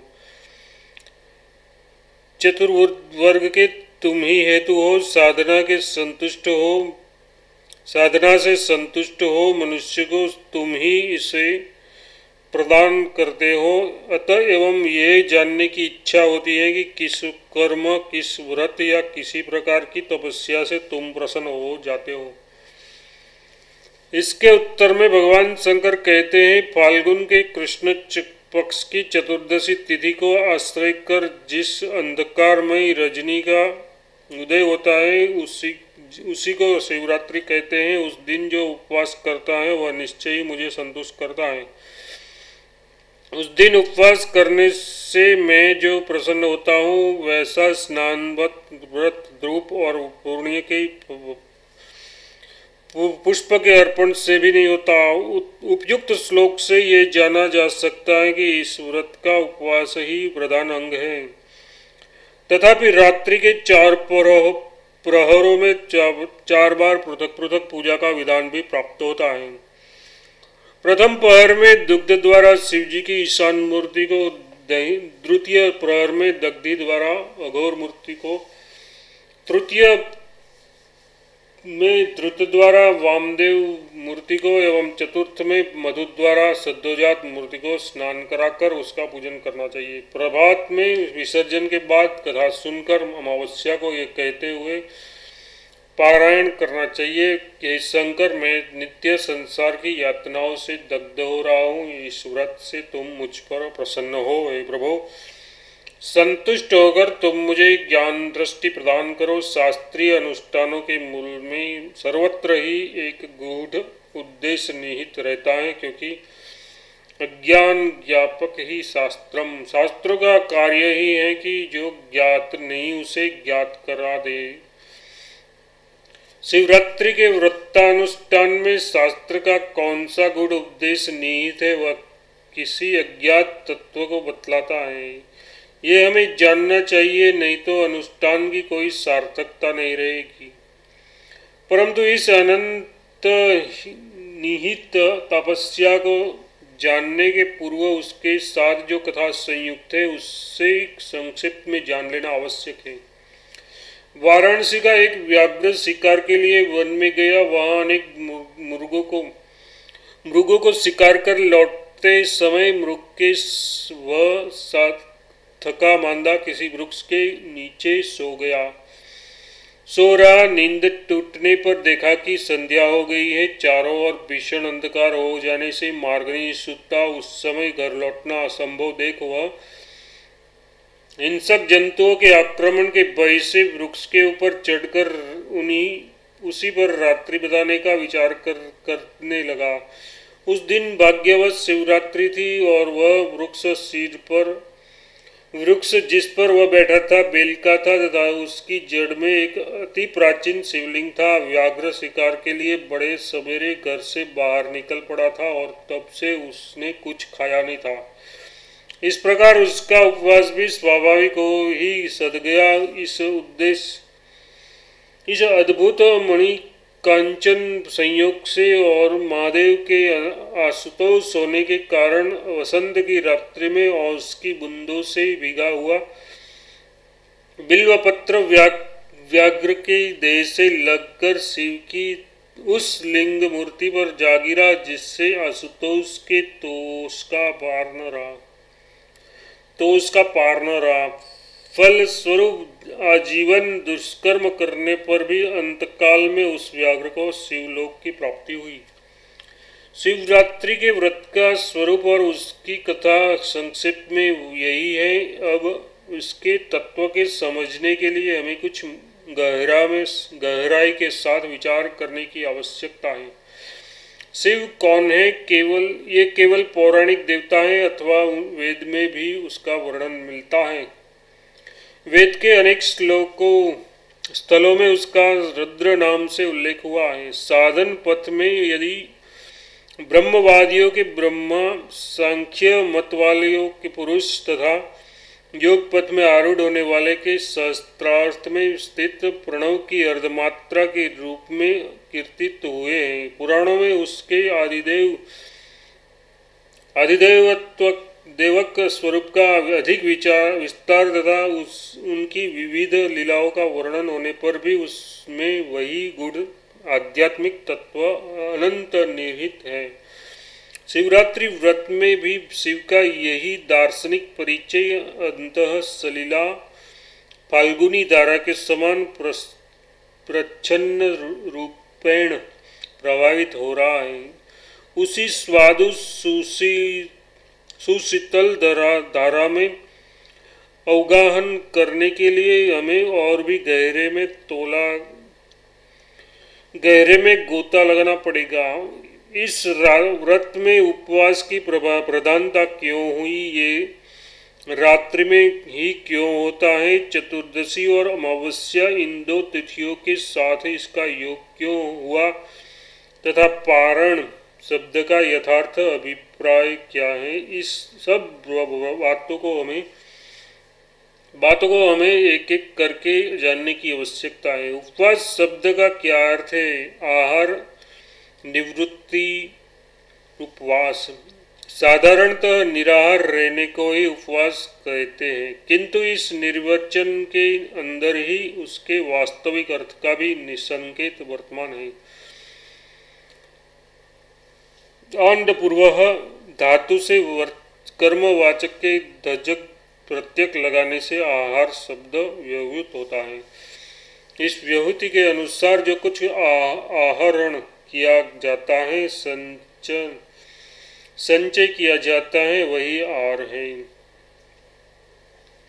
मन, बुद्धि तथा इंद्रियों के द्वारा जो बाहर से भीतर आहत संग संग्रहित होता है, उसका नाम आहार है। स्थूल और सूक्ष्म वेद से यह आहार साधारण दो प्रकार का है। मन आदि के द्वारा आहत संस्कार ही सूक्ष्म आहार है और पंच ज्ञानेन्द्रियों द्वारा गृहित शब्द स्पर्श रूपादि स्थूल आहार है। इसके अतिरिक्त हम जिसे आहार कहते हैं, वह चावल, दाल, व्यंजन और सर्वथा स्थूलंतर आहार है।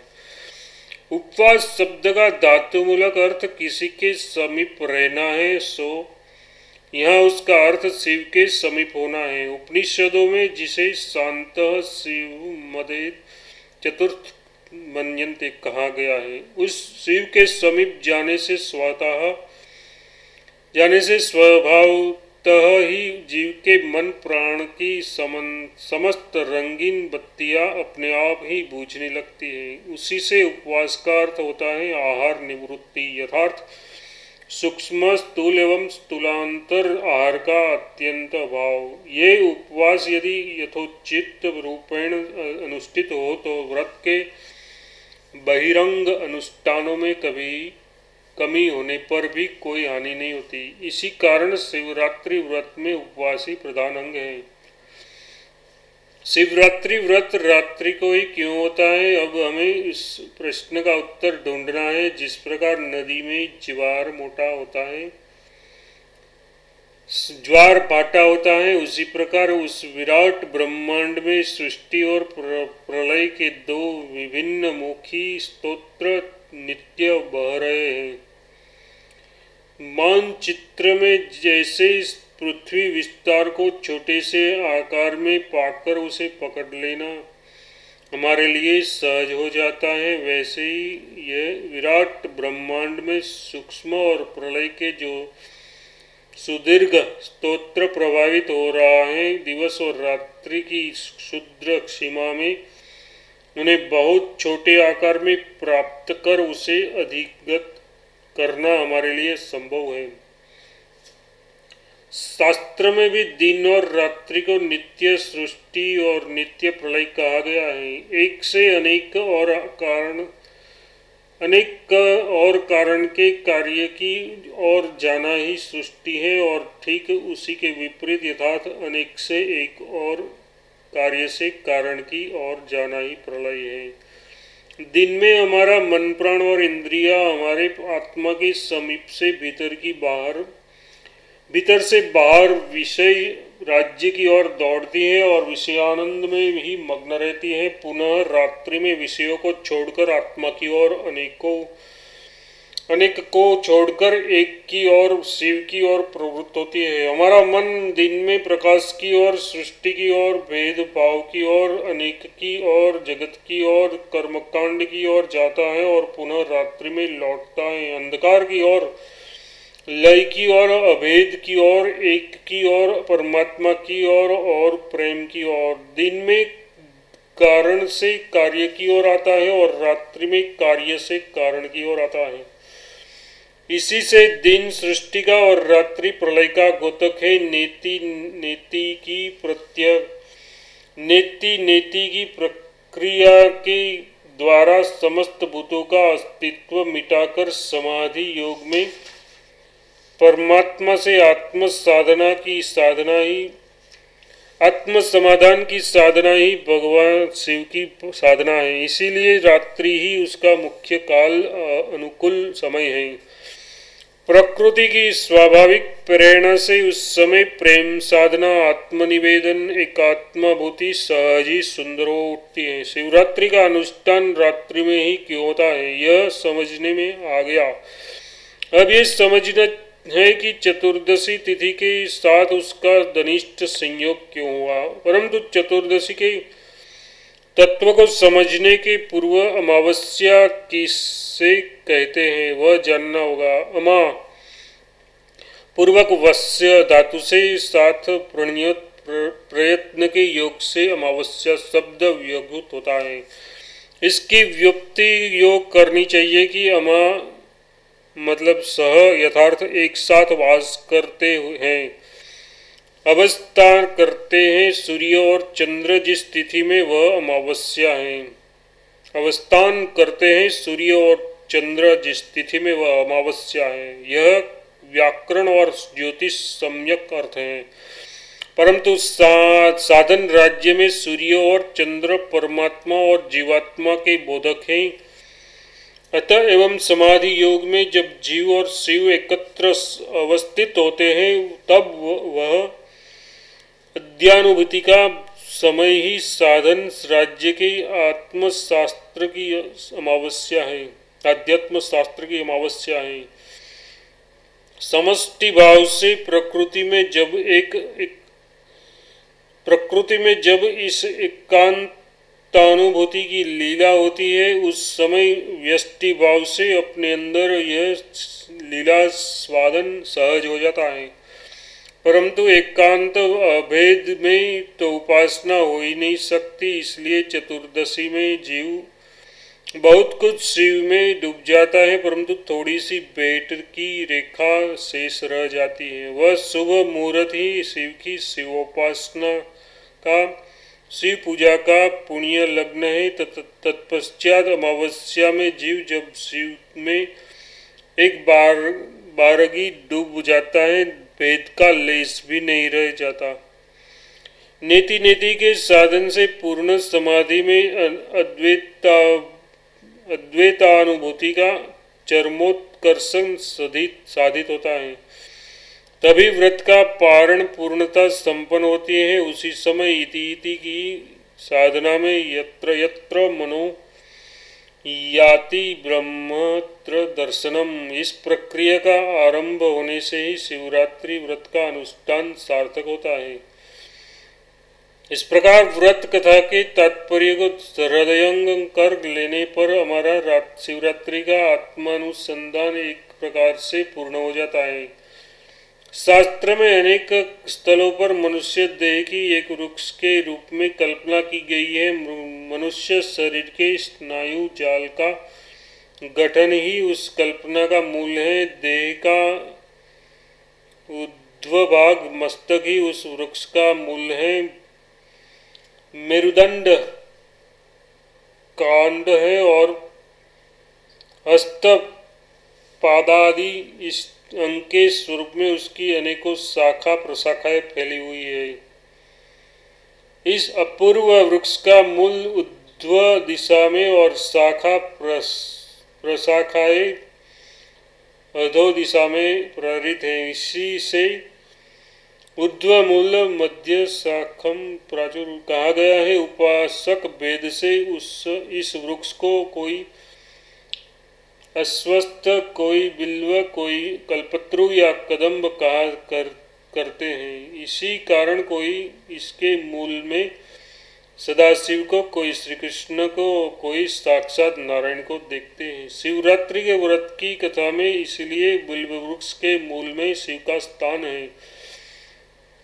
जीवात्मा ही व्याग्र है इंद्रिया रूप तीरों के द्वारा विषय रूप पक्षियों का शिकार करना इसका कार्य है। इस प्राकृतिक जीवन का स्तोत्र जब रुद्र होता है, जब वह अपने समस्त कर्मफलों को भगवान के अर्पण करना सीख जाता है, जब देहरूप बिल्व वृक्ष के त्रिगुण रूप त्रिपत्र को गुणातीत शिव के मस्तक पर अर्पण करता है, आत्म आसक्ति शून्य हो जाता है, तब पद्म पत्र मीवाम्बसा यथार्थ जल में पद्म पत्र के समान वह फिर कर्म के शुभाशुभ फलों का भागी नहीं होता। जीवन मुक्त होकर सामने आए हुए प्रारब्ध कर्मों को ही भोगता रहता है। तथा शरीर तथा शरीरांत होने पर कैलाश के कैवल्य धाम में परमानंद रस में